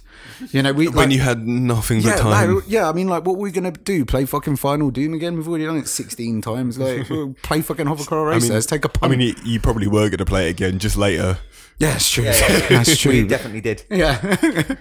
But hey, I mean, Zi, but what, I, I want like because Zi has got experience with a PlayStation, right? And I, I was wondering what he wanted to see on the classic because they've only Wipeout announced two oh nine five. seven, right? no, I the- don't. I actually right. So the specific period of video games, the first foray into 3D, is a time that I do not care for. Everything was too jank. Like. I, I, I know that lots of people going back to games from then go, oh man, God, everything was really difficult to deal with. Things didn't work the way they were supposed to. You couldn't really see what was going on. I felt like that then. So like I there is there is very little on the PlayStation 1 that draws me in and if it does it was 2D. I mean I love the shit out of Rayman but like and and Wipeout 2097 but even Wipeout 2097 like manages to exist in a particular space because the incredibly polygonal design that anything 3D had to have then fitted with like the hovercrafts going round uh, going round a sort of futuristic racing track. And it's definitely got better since. So I'd rather just play the last Wipeout. You do like Symphony of the Night. yeah but is, wait is, is that is that where Symphony of the Night Yeah, came out Symphony first of the Night is a PlayStation One game. and well, man, I didn't play it until it came out until it was re-released on the Xbox ah, That's 360. But I do love Symphony at the Night. but it's not 3D. That No, is kind of true. key. Yeah, yeah, yeah. But I, I mean, like, because I think the thing f- for me to defend the position, yeah, is I, I think that it's an incredibly, an absolutely incredibly important, like, historical landmark of shit being bizarre and us trying to work it out. I think it's such a historically important, and I love, I love it. I love seeing these unique and different ways that people tried to broach the 3D problem before we standardized how one And- would deal with it. And I definitely and I definitely think it's a really like nice thing to exist, an important touchstone in terms of the the annals of like gaming history and being able to play that is great. Um but yeah, but it's it's not something that I particularly wanted to do then and it's not something I particularly want to go back to now because I didn't want to do it then.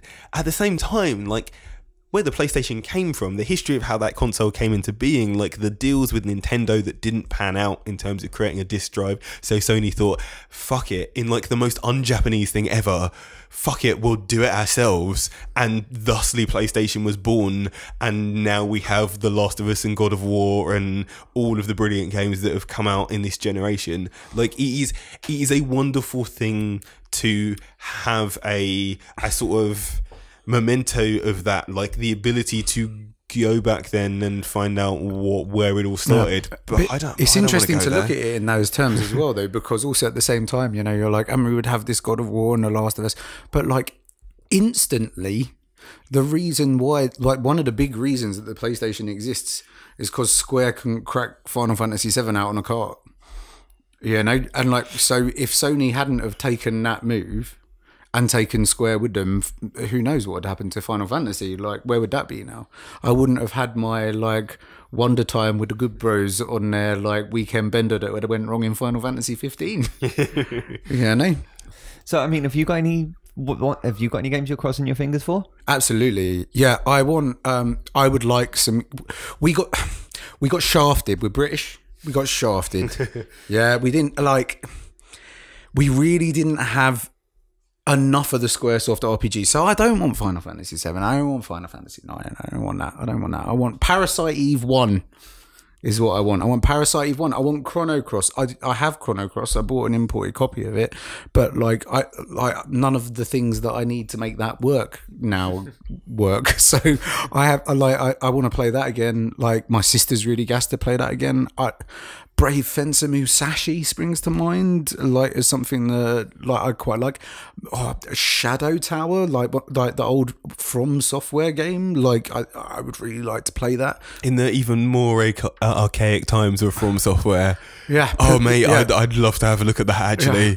Persona, um, Persona One and Two, like things like that. Like I think would be really, really, really interesting. I understand. I'm We're not getting them though, are we? I mean, there's. I hope I, I've that- got I I uh, to be honest. oh, I think that I think I think the high bets for this outside chance probably do lie on Parasite Eve. You know, like that's a huge game that has a huge influence Am I right in thinking Parasite Eve was a little bit kind of like dark and It was like the cinematic RPG. It was like Resident Evil meets Final Fantasy. Yeah. Um, with the integrity of something that, like, because it's actually about science and it was about characters that develop and it was about biology and it was a, s- like kind of the spiritual sequel to a book written, um, the uh, also called Parasite Eve, which was about like kind of uh, biology gone wrong, kind of island Dr. Moreau, very obsessed with mitochondria. I'm pretty sure that Parasite Eve helped me get those high scores in my uh, science GCSEs. You know, so like it's a you know like it was a very good game, and I uh, but I only ever had the opportunity to play it from the boot of people at Sunday Market because, like, you know, like you won't fucking sell it to me, Square. I'm, I'm just saying this straight up. Like, I, I'll fucking I'll pirate the shit out of anything if you're not going to let me buy it. But if you look at my wall of video games, if you let me buy it, I, I fucking bought it. I'd buy it again, probably, because for some reason I forget what games I have, and then I go through my video game collection and I go, "Why have I got Two two, of copies of? Two of them. Why have I got two copies of Soul Calibur 2? I guess I forgot that Because it's got a it. two in the name, so you got to have two copies, right? on the same system. So I've got two copies of Soul Calibur that both have Link in. Can't have enough link. My like my own hopes. I, Battle Arena Toshinden 2, right? Ballerina Toshinden would be hilarious. I don't think I'd get much mileage out of it today. Um, I mean, like, strangely, I think one of the games that I would actually play again and again if I had it on something with a HDMI cable is um, Destruction Derby. Well, Like, let's that be, was let's, that was like Psygnosis as well, wasn't it? let's be Um, honest. We played that quite recently together and had a fucking lovely time playing through the campaign of that game. Yeah, it's just brilliant. It's so it's it's massively overdue a reboot actually. Although again, the company that did it don't do video games anymore. No. So maybe So uh, was it was it a Psygnosis developed or just Psygnosis published game? I think it was developed. I mean, they did Yeah. they did develop a shitload of They did games. develop that a was shit- Uh, I mean, it's very, like it was. It's a very interesting game because it's kind of like the racing game, kind of. It's like weirdly zoomed out, so the cars are quite small. Like well, like you might imagine in like a micro machinesy kind of game, running around these very intricate tracks, which always have an overlapping part where everyone can smash. Which you know is it's like you know just is fantastic. Like trying to weave your way through the through like the oncoming traffic is really really really Ju- good. just just a little bit of burnout in there. Just a little bit of burnout. Yeah, but also al- also like it had very like for the time excellent damage. Like the like your cars were modeled with what was it like it's eight points of damage. Yeah, so you had like you know your like kind of front, uh, your front, You your, your front right, your front wheels. left. Yeah, like all like all the way around the car. And the more those bits got damaged, the more useless they'd become. But you know, obviously, if you took it in the engine, that was that was it. Yeah, game over. But you could live with everything else. Is the thing like everything else going, but you'd lose as like Bushido Blade. Um, You'd lose different assets. And actually, thinking back, I think this is the reason that I didn't like Wipeout for years. Because it meant that they didn't make another Destruction Derby game. ah, I just, Did like- you ever have two? No, I didn't. My uncle had it, and I borrowed it and played it through. So I Oh, never so actually you went never out and got it to get myself. it, yeah. So actually, give me Destruction Derby 2 because I don't own the first one. I mean, I mean the other problem with Wipeout is that it's why we never got any any more um, Rollcage. That it was deemed to be the more popular series, and therefore they didn't make any more Rollcage. They only made Wipeout. Grip's, so bring Grip's on very grip. near release date. So um, I'm real excited. Really, yeah, really I, I, excited. need- um, I think in time for the next pod, unless the release date is super imminently after that, in Oh, time for the next pod, I'll give it a serious go and report back on what's changed since the my first instance. Sweet. I'm like, yeah, I am. I'm just, I'm biding my time. I want it to be done by the time I get it. But like, I, I want me some grip. Um, should we do some questions? Yeah, we haven't. oh, Well, I haven't been here for a while. Have you, how have the questions been whilst they've been away? I mean, we haven't had many questions. Oh, I think. I did a question whilst you weren't here. Oh, one Is of it one of my secret- oh. questions. But um, yeah, like we've we've got we've had a few this week. Um, uh, variable in size. So, uh, do you want to read these out, Waine? Shall I? Yeah, uh, um, go for it. sure. I mean, I, I will paraphrase them. Apologies, guys, if I feel if you feel like I've missed the essence. But thank you for writing in and do keep them coming. We'll Yeah, if you talk about as many as we can. If Do you, want to send us any questions, yeah, if you want to send us any questions, you can do so at tastemygameface slash contact, where you'll find links to our uh, Gmail, which is tastemygameface at gmail.com, um, our Twitter at tastemygameface, and our Discord, which is where we get most of our questions from. Um, and you can just follow the link to the Discord to join in there. Um, there's also um, a link to our YouTube channel as well, and we're always after more subscribers because although we have almost all of the people in the world subscribed, we still have at least two people that haven't. Yeah, so yeah, yeah. And one of them's Joe. So whoever's left, get involved. yeah, Everyone's waiting for you, mate. Yeah. Sort it out. exactly. Although, yeah, who, what, it was you that claimed that we'd looped through all of the numbers, despite the fact that there are always more numbers. Well, I mean, do you know that for certain? Yeah. If you keep counting, is that necessarily what happens? not now. Then how how if you add Sorry. or how if you add all of the uh, positive integers, do you end up with minus uh, twelfth? You don't. But you do. No, it's a. Oh, hang on. What's the word? It's an anal- analytic continuation of the Riemann zeta function. Yeah, exactly. And it's not actually the. It, the no one show me how this doesn't work, and it is, and it's something are- that is used in quantum mechanics there are a couple time. of there are a couple of really good ways of showing that it doesn't No, work. it's- It's, it's says says Joe. it's okay. So basically, the series itself diverges, right? And therefore, because it doesn't converge, there's no limit, so you can't put an absolute sum on it. However, if you I, I, I apply, think that I, this is not the place to explain this. Look, we can Look, we can you've this argument another question. time. You've, you've, you've, I'm really you've interested. Set, you've set but the little un- bits. Of, to you've set the little bits of candy out, right? All through the podcast. Now I'm under the fucking box. so The trap is sprung. Yeah, exactly. But, but this is obviously a very important question. But is it more important than the questions of our listeners? Yes. fine, fine. I'm trying. I'm trying to bring it back. Bring it Okay, back. so um, we'll d- the first one we'll do is from uh, Nerd404 UK, um, who uses an acronym. It took us a little while to decode, but it's fine. Um, Yeah, what is T O shadows? Well, uh, about I was going to just go over it. I was going to. yeah, yeah, yeah, But I mean, it took us a while. We worked out that it's shadows of the Tomb Raider. exactly. That's so, completely different order. So Shadows, uh, Shadows of the Tomb Raider came out last week, and I was looking to buy it for my girlfriend, who has played every other game and really enjoys them. However, we also pick up the physical items in the game. Um, physical items that are released in the game. So, what are your fe- the feelings on the physical items that games are spawning? Should we still have pre-orders for such physical items? And is gaming more about the game? Uh, is gaming less about the game and more about the shiny physical items and/or beyond DLC release extras, or is it still about the game? I think that's probably. I think we can all agree that's taking the whole concept a little bit too far. um, but I mean, this is obviously someone that's very into the whole sort of concept of collectibles, and so might see the collectibles as as much of a draw.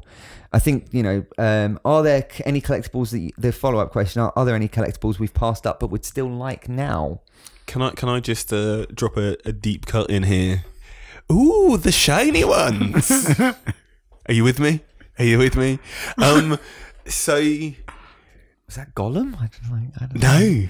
no, no, this is Baldur's Gate two. Oh, okay. um, so yeah, like collectible bullshit, right? Like I think I well, I mean, some. you, you can finish there. You've basically done it. Like, okay, like I mean, I have some. There was a time in my life where I thought it was interesting because it began to be a thing. I was like, oh, video games. I love video games. And you'll give me a way to express that a little bit more. I'm in. And then I was like, oh no, everything that I seem to get is pretty cheaply made with a few exceptions. And actually, the value that I'm, the amount of money that I'm spending on it is so much more than the game, which is where the actual value for me lies, that I should probably sack this shit off. And then I did, and then I started doing a video game podcast and realized that we needed a background. So occasionally buy a stupid thing for that sake now. oh, you actually. So there are new things on there. Yeah, one. Okay.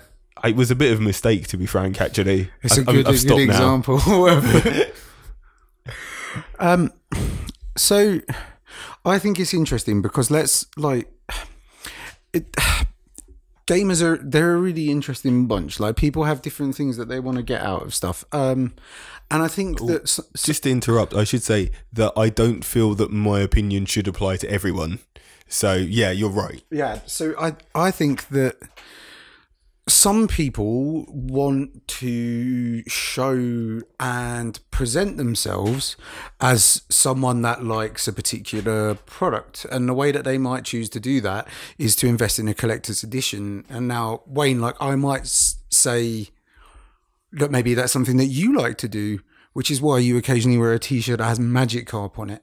You know, you're presenting an image of yourself as someone who likes Pokemon enough to know that Magikarp is the fucking number one. It's funny You're funniest trying to get. You're trying to get happened. ahead of what I'm going to say later. I, I like it, but carry on. Okay, but like, and and like, Izzy, right now you're wearing a Sonic the Hedgehog t-shirt. Cost me a penny, Yeah, you're. Sonic don't care. a literal penny. Oh yeah, but you're advertising Sonic the Hedgehog right the fuck now. Fucking late stage capitalism got me. yeah, but like, and like, man, I used to wear video game t-shirts. Oh my god! Like, how many video game t-shirts have you guys seen me in over the years? Loads. I've kind of given up on wearing clothing that either represents me as somebody who likes a film, likes a band, or likes a video game because I don't really want to hinge myself upon that. Uh, at the same time, you look into my collection of video games. My God, the amount of plastic crap that exists. I fucking I got a Raziel in a box for some reasons, and like someone bought me like all of the figures from Gears of War in a big box. Like, what? Why did that happen? That's never something. Like people buy me video game related merchandise like socks, pants, things like that because I, you know, like it's something that I like. Like I, you know, like bless my mum. Yeah, bless her. She'll turn up sometimes. She'll be like, I saw something and I thought of you and she'll give me an Assassin's Creed t-shirt and a free pack of Assassin's Creed novellas that she found in the works for four quid. And I'll look at her and I'll be like, Thank, thanks, mum. And I know that I don't want any of them. I'm not going to wear. I like Assassin's Creed. Yeah, like it's fine. Like it's something that I'm interested in. But my relationship with Assassin's Creed is far more complicated than like you know the fact that like my mom just sees things as like things that I play, and like you know is trying super hard and being super wonderful at trying to you know like give me more things of the thing that I might like. And I think that it's one of those things that quite a lot of people grow out of. You know, like kind of representing themselves like that. So Yeah. now I just buy ridiculously special editions of video games because I don't buy any of the superfluous tat around the outside. But I just bought the Croft edition of. So like, when you're when you're Raider. talking about sort of growing out of that, you're saying that instead of people as they grow up recognizing that they don't need to identify themselves by the things that they enjoy and that they have an identity separate to that and therefore they don't have to wear that to go I have a personality look it's liking all of these things and that actually you are more of a human than that but at the same Oh time no, I don't. That makes it sound far more arrogant than I think that I'm presenting it. Like I no like, no no, it's- no no but but I'm saying Not you. Not you Oh. individually. I'm saying Oh, that okay. any indiv- Oh, any the royal person- you. Yes, the, the royal you. yeah. um, hold on a minute. Yeah. So so the the in not needing to identify by the things that you consume anymore, the things that you like to go. I am this sort of person because I like this sort of thing. That it's fine to lose a lot of the sort of more obvious parts of that, but then there's still a desire to collect cool looking shit because it looks cool. I no, well, no, but I mean, like that. My personal truth is, I like, I like. I mean, I've always collected. My family collect. Like, my mum collects books. My sister, coll- well, no, my mum collects books. My dad collects uh, records and CDs. and football and, programs. and football programs and football memorabilia and old posters from I assume football toilets and places like that. Like whatever he can get his grubby mitts on. I mean, he went to a fucking calf that was selling that was, that was getting down its big board pictures of black and white Leyton Orient. Yeah, he went round the calf and he bought them all and he stuck them up in the house. These big boards that were on like a calf.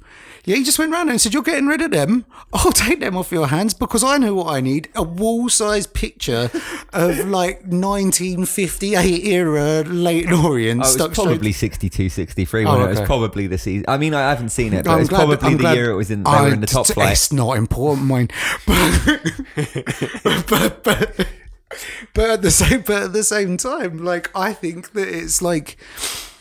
I, I don't know, like so it runs in my family, and so for me, my passion is video games. So I collect video game things, like that's what I do. I, I also have had a big passion for film. Do you remember the size of my DVD collection? It's not healthy, was it? Neither's my video game collection. It's like my thing that I do. And I used to buy more of the superfluous stuff. Like the last run I had with that was Amiibos. And then I realized that I bought most of my Amiibos quite cheap. Like I didn't do any of that Amiibo stupidness. And that Amiibo stupidness and that Nintendo scalping universe kind of put me off of the whole thing. But also at the same time, I realized I could buy more video games. Like if I, I can I can turn 12 quid into Amiibo. Or I can go to CEX and I can turn a tenner into five PlayStation 2 video games. That You've done know- the fucking man. Uh, so Yeah. it's, it's it's all about opportunity cost for you. It's Now- something that you're interested in, but the opportunity cost makes it less of a value proposition No, than but it would also, otherwise be. yeah, but also like I don't, I, I like. Do I like the amiibos, or do I like them because I like video games? So what do I like more? Do I like amiibos or do I like video games? I think I like video games more. So can I have more of those, please? And I will collect them. Like that's that's the thing that I'll collect now. I will collect physical video games. I will go on the internet, buy all video games for cheap. I'll look around for them. I'll head in. I'll dive into a charity shop, hoping I can get a copy of fucking, I don't know, Spider Man Two for the PS2 or something. Like I would like. That's what I do now. So, like, I own a number of video game collectibles, but I can't recall the last one I bought. A lot of the scenario of all of the things that I own, and I made that decision very early on. In fact, like, I think it came more with the decision that I don't really like things. I Now, agree. this is- this I like having less stuff. Yeah, yeah. I uh, for me, like, I I love my games collection, and if I were to ever move, like you know, like seriously move, that that could be an issue. Like if I ever had to downsize or something like that, the, my video game collection could be a problem there. Because I, I would probably take up all of the storage and the main living space with it, but that's cool. That's cool. Gemma's shoes can go elsewhere. Um, um, but no, it's um, yeah, and so like the games collection is the key thing, but I've never really, yeah, like the things concept is just something that, yeah, it just feels unnecessary at this point and i don't have displays i don't put stuff up this is like i know you said this is a backdrop really for the benefit of this but i don't do that anywhere in my I mean, house I, I, I, I would not unless I had a reason to either. the things that I have up are my consoles. That's my display. Um, that's the thing that I guess I get that feeling from the layout that's got all of my consoles on it. Um, I mean, you mentioned the clothing. I'm going to counter that a little bit by saying I have to wear something, and that Magikarp t-shirt is fucking cool. No, it's all right, Waine. You can come on naked. We'd, we'd, we might even prefer it. Someone might. But like I can t- like like I stand f- I stand in favor of the Magikarp T-shirt. Oh man, I was Like- hoping you were going to say you stand in favour of Waine being naked. Oh, okay. And, right. and, and no, I prefer him dressed as Knuckles. We've established this on the podcast. Um, I'm always Sonic, um, but uh, basically, Who's Tails? well, there's this petition open. Actually, if you're interested. I'm all right. Uh, but yeah, like so, but like I think though, I think all game merch is linked. But I mean, like the actual question seems to be asking much more about how we consume our like you know our special editions of said games, right? Like the physical items, like with Tomb Raider, like I I bought the special edition of Tomb Raider. And like I don't I don't know what these physical items are. I don't I don't seem to have any physical items that came with mine, and it was quite expensive. So I'm a bit sad about that. If there was the physical items going, I have made a rule for myself that I will never spend over a hundred pounds on a game which like prices me out of any sort of statue universe. I'm much more comfortable around the sixty pound mark where you get a really nice book, usually a soundtrack, because I like those. Yeah, that starts to and an art book like that sounds like that's my perfect edition. I have a really hard time spending more than forty pounds on any game, and I mean, like, actually, what what's happened through me going through a short period of buying special editions of things is now I um, I mean, like, I mean, Waine, you said the thing that makes your collection is actually having those consoles on display. I don't even care for that. Like, I literally just want to be able to play the games. Now, I think there is a nice thing about having the media that you own or that you um, that you watch that you play in a physical form so you can lend it to people like that's actually a, a thing that you don't get in the place where I own most of my video games now which is in the digital space. Uh, except there is a little bit of a thing that you can do with your Steam library of having like Steam family and things like that which definitely helps but when it comes down to it I would rather have all of that stuff accessible rather than visible and I don't really give that much of a damn. Um, I think that there are occasions where it is nice to have that aesthetic to be able to show people what is in your collection rather than having to list it off one by one by one. But for the most part, I don't feel that I need to you, show would be a people video game. spreadsheet, though, wouldn't it? I- literally, I have that. See, I have the physical collection and one of those. um, so yeah, like I, yeah, like in in my personal experience, my personal value of video games is not in showing people the parts of video games that I own. It is the experience of playing them, being able to have discussions about that, those experiences. Like that's where I gain all of my worth.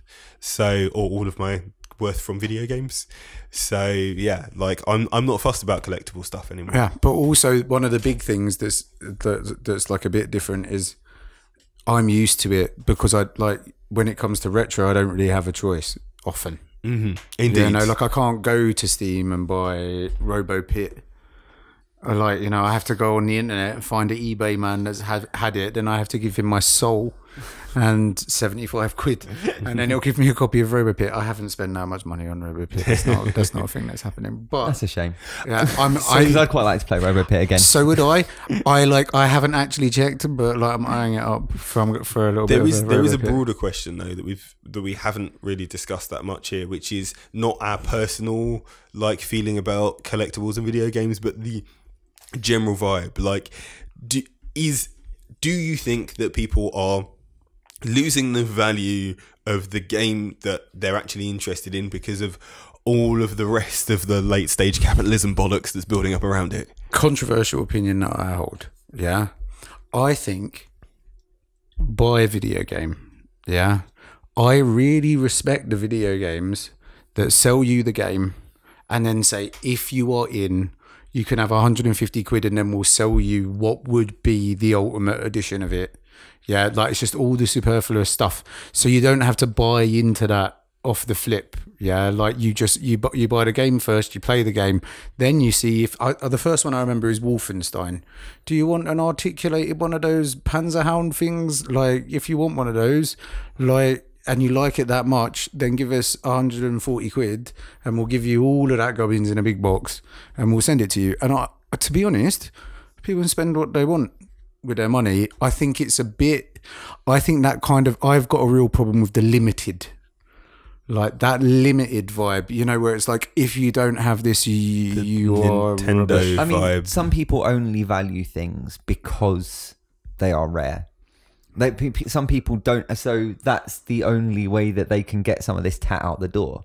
You know, it's something. It's like, oh, this is a sack of shit, but there's only 25 of them, so it will be my sack of shit. it's, it's probably. I, I mean, actually, I've got a video. Got to get those game- ultra rares. I've got yeah, I've got a video game analogy on this actually um, from Pokemon Go because they um, they've for this month they've moved Mewtwo from EX raids, which are quite a ball ache to get into and qualify for and do, to standard raids, which are much less of a ball ache. Now they've been in EX raids for about eight months or so. Like this is a while they've been about, and people are complaining because it, they feel like it devalues their own hmm. acquisition. And you're sort of like, well, you've had the sort of exclusive access to it for all of this time. Is that not reward enough? You've got it's one of the most powerful Pokemon in the game. Is that enough? But for some people, no. The fact that other people don't have it is literally the only thing that makes them tick. And so, sort of I don't know, like diamonds, not very useful, kind of rare, worth a but- lot. Oh no, but they're I mean- not, are they? That's the thing. They're, they're what is it? They are artificially suppressed. Oh yeah, no, you're right. There's there's shitloads of them. So, so what we're artificially talking about here is just economics. One of the rare one of the rare cases where the slave labour's whipped to not quite extract as much. Stop working so hard. oh, it's not actually funny. No. I don't know. I was quite proud of it. I mean, not not So what now it that we've- not now what that it we've was now, now that we've equated Mewtwo to blood diamonds, um, when Should we move on to the next question?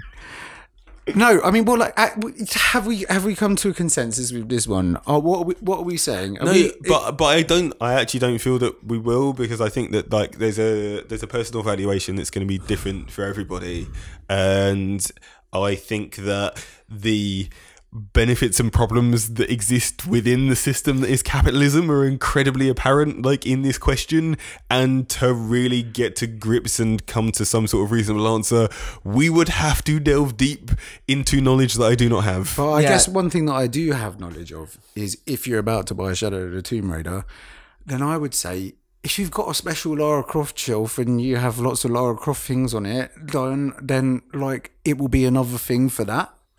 You know, if that's what's going on. But if that isn't what's going on, I would say that ma- maybe don't because it's probably the least good one of those three video games. So is that that is a bit of an answer to a bit of that question? yeah I guess Yeah. yeah yeah yeah I, I mean, there's a whole other bit as well that I didn't do about, which I actually I'm going to sit right off because we haven't got long enough and we've got another okay question. go on go on So I'm going to just jump straight into the other question. Yeah. Which, apologies, John Joe, I am going to paraphrase. If you're on the Discord, you can read it in our podcast questions um, thread. Um, but it's about um, the idea of difficulty in video games and as an achievement. Um, so there's a good story about um, elements of God of War um, and how playing it on a really hard difficulty occasionally turns into simply a bit of a grind, a bit of a chug, um, rather than actually being enjoyable. And it was sort of like, uh, and so it came to the point of, is this, is this worth doing? Basically, uh, do I need it to sort of like plat the game or get a trophy or hundred percent it, etc. and the answer is no And the answer is no. Um, and so basically, like the the i the, the the the sort of key gist of the question is: Does difficult do harder difficulty levels need a reward? Need something associated with them to be worth playing? Um, can they lead to negative gaming expre- um, experiences, regardless of whether or not there is a reward for it? And um, is there a reward outside of the game basically beyond the achievements etc So I'm curious to see if we agree here, Joe. So go on. What do you think? So I believe that again we're entering into a personal taste question. So I buy a video game, I crank it up to its hardest difficulty. That's what I do. I am one of those wrong'uns. Yeah.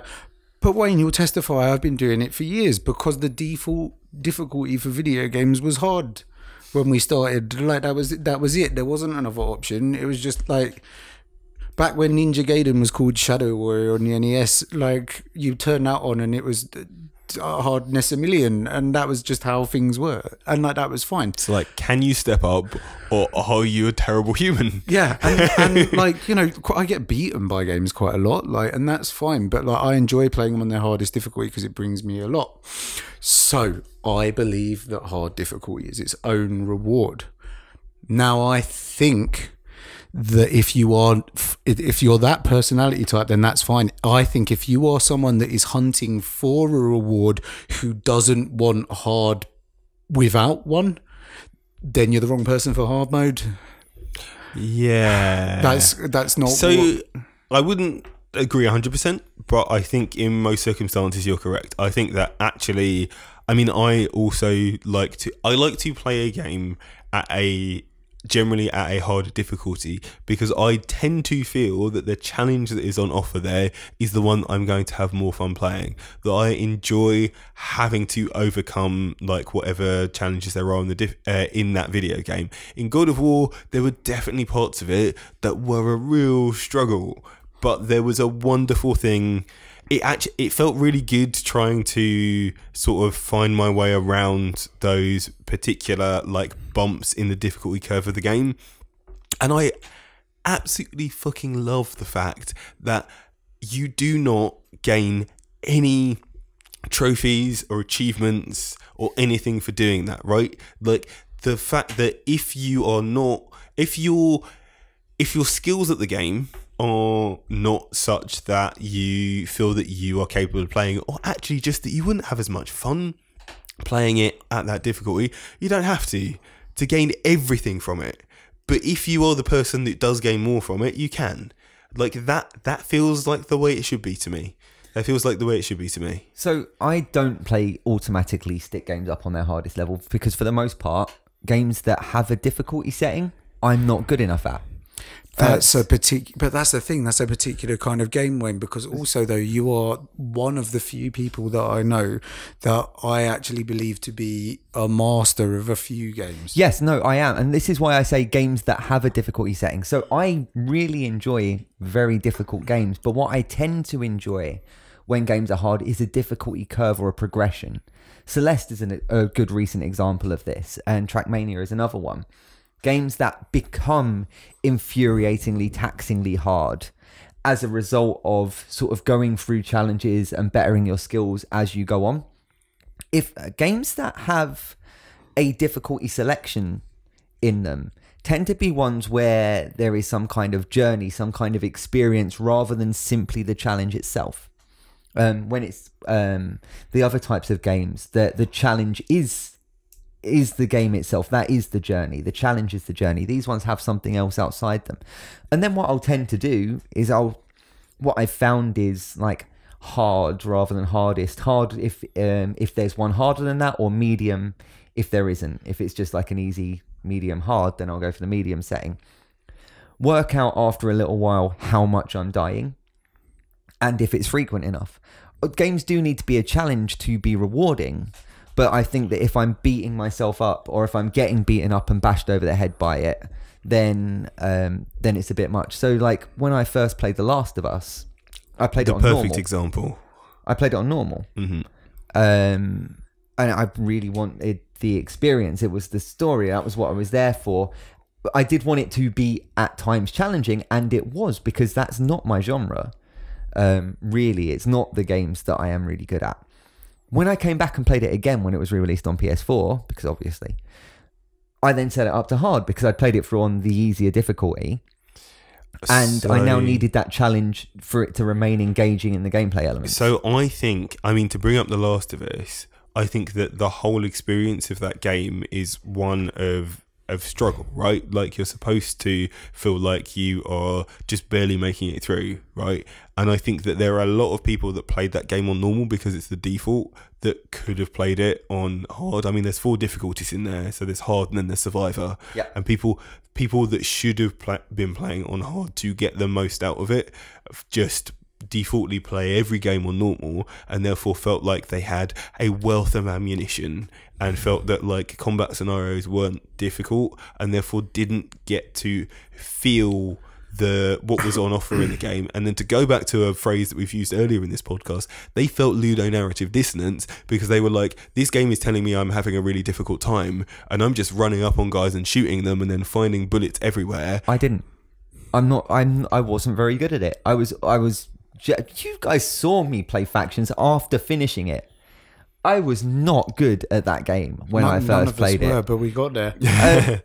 No, um, But but, I, no, like, I, so- I'm, I am, I am not talking about you though. I am, I know, I am but- talking about the the general gaming public and the I things that I heard from them. I think like what, yeah, there there will be people that do that by default, and it is a pro, uh, it is worth t- spending the time to explore difficulties to find the appropriate challenge.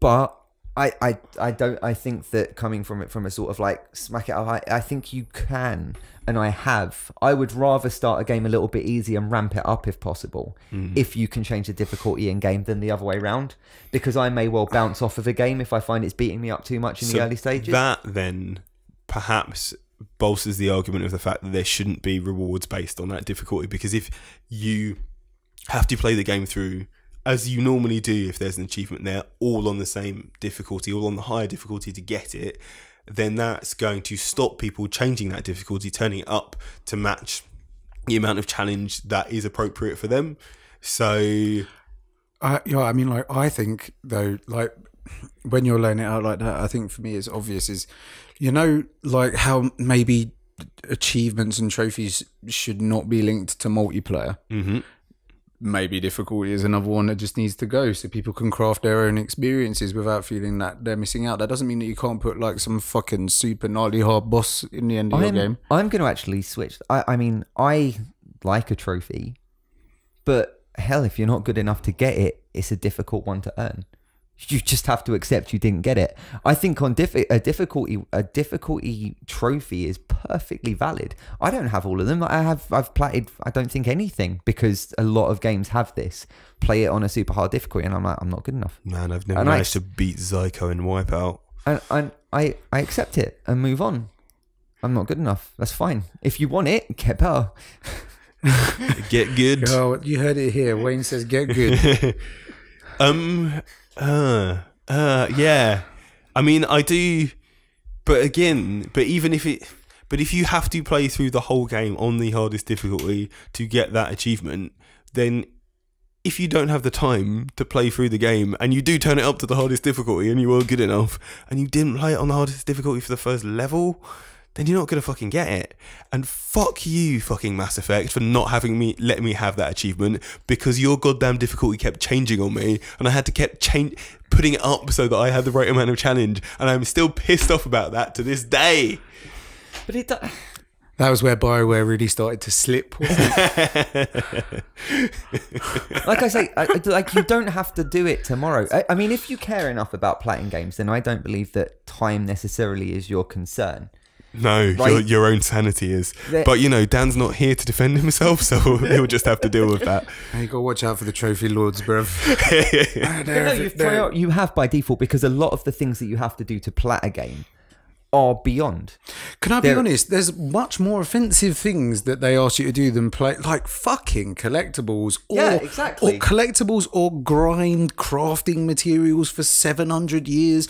Like there are these common ones. Grindcraft. Yeah. That sounds This like is- an this excellent name of my a game. Point. There's a lot more onerous things in terms of time consideration. So playing the game through a second time when you're better at it at a harder difficulty certainly shouldn't be one of them.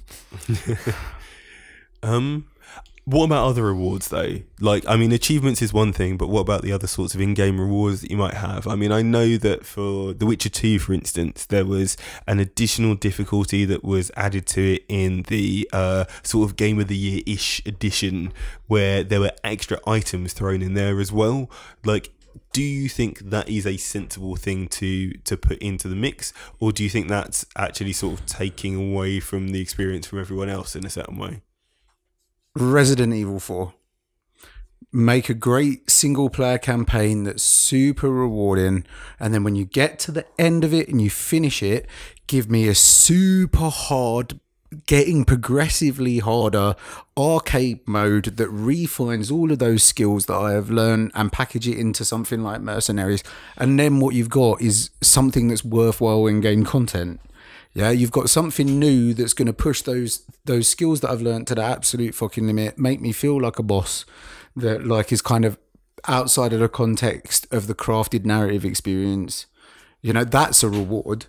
Can you do that for every game though? No, you can do similar things. Like for example, like Super Hexagon, like I mean, but Super Hexagon, ju- Super Hexagon just is that. Yeah, no, but yeah, but it, but like that is the game, yeah. Like it's like it's that progressive curve, like what you're talking about. You're like Waine, and it's and I think that that stuff. I think, but like maybe being more aware of it actually is uh, like maybe that's the biggest crime is how how throwaway often these harder modes are. You know, like because like I believe that Last of Us difficulties doesn't really start popping for me till you get to Survivor, where they take away hearing. Because for me, that is ludonarrative dissonance, being able to see through a motherfucking wall because there's a I can really- hear. But there is a really important thing. I know. which is yeah, if people aren't, Yeah, I do have difficulty hearing. Yeah, like, yeah, yeah, I know. You always make me feel bad about it, and you always make me because I'm not thinking about those things when I say them, and then you always say them, and then I feel like a terrible person because uh, I because I, I didn't think of that. So so well done. But unfortunately, as someone who's lucky enough to have their hearing. I like. I mean, you agree with this point also, though, don't you? That you play, you prefer it without. Oh no, Survivor's the fucking one. Yeah, exactly. I think you need to be set up for it though, right? In the same way as like Hellblade, you you want to be having headphones on. ideally to get an idea of the spatial Mm-hmm. I feeling mean, of it's it. fucking And- Last of Us. So like, Last The of Us Last is the of Us- last game I eh, like, was the last game I ever mastered. So I just now know where everyone is in it. Yeah, You but then, know? that- but that's the other thing in the game. You don't have memory of those scenarios either, which is you know would make Survivor, I guess, that little bit easier with not having hearing. Yeah, I think so. I think it's actually really interesting when you introduce sort of ideas of accessibility into difficulty, though. And I mean, like Celeste is, is a premier example of how to do that with like its assist mode that you can decide to turn on if you want. And doesn't stop you getting any of the achievements, doesn't stop you being able to access any of the game, but it does mean that depending on which sort of cheat-ish modes you decide to employ, like it will make the game a lot easier. And like kudos to it for that. Like the the I mentioned this on pod, on the podcast before, but the fact that you can make it so that you either have extra jumps or you don't die when you hit things that would damage you normally, or that you're just completely invincible, and to change the speed at which the game goes means that it ends up making it so that people who for whatever reason might not be able to access as much of the game have a way to do that. So they don't feel that they are being shuttered out by the incredible difficulty that the game gets to. And i think that's great. And i think that in terms of difficulty in terms of pitching that challenge right like you I feel like I gain more from throwing myself against something that's really difficult. But if for whatever reason, like if that's not fun or it's not possible, giving people another choice is really fucking important.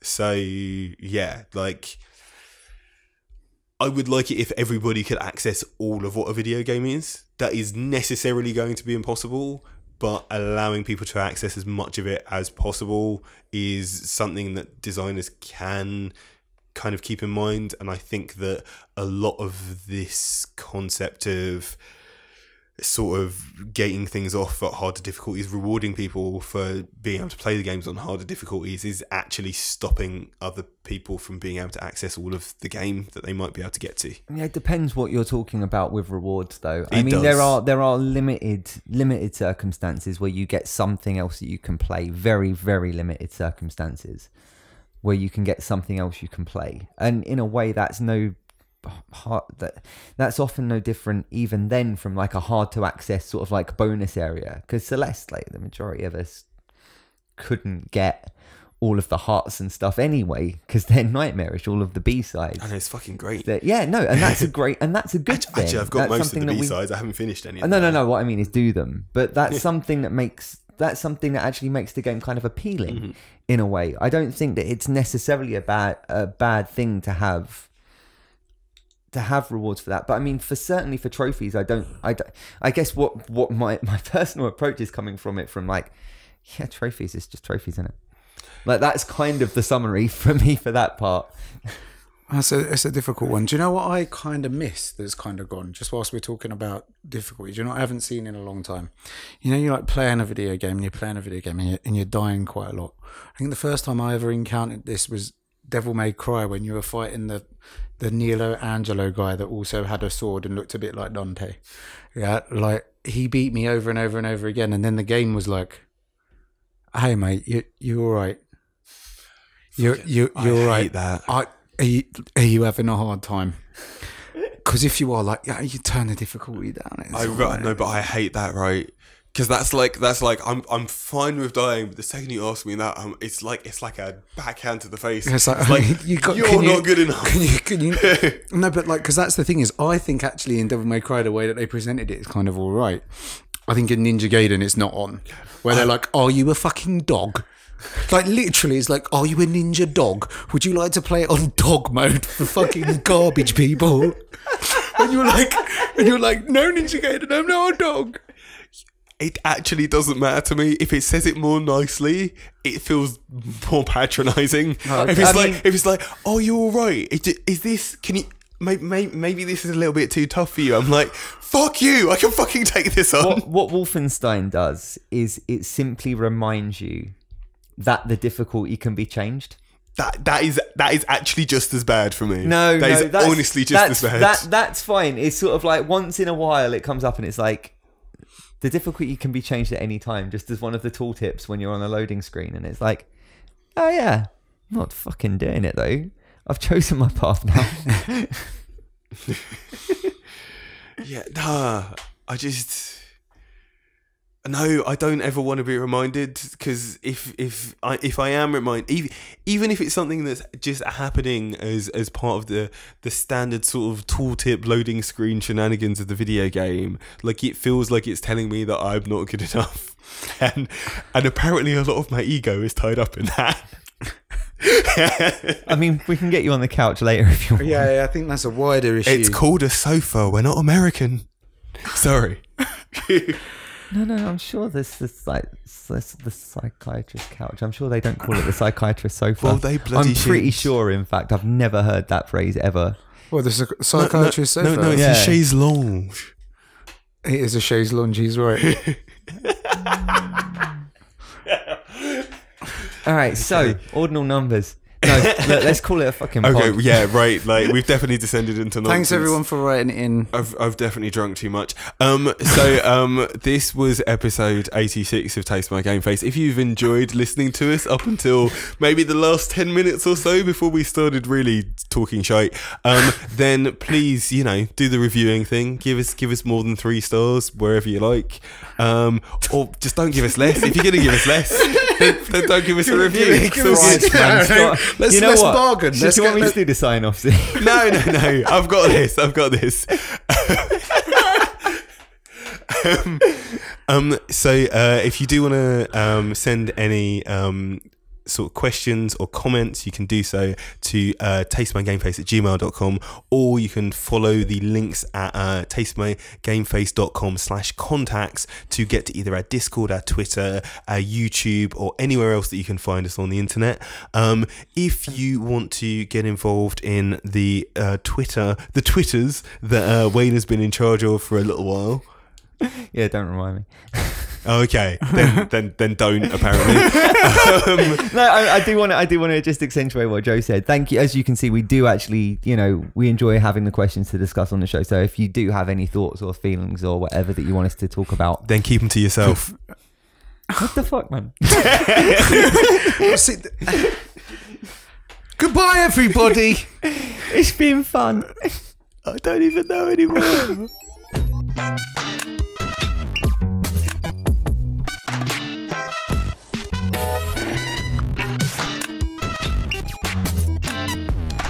Taste my game face.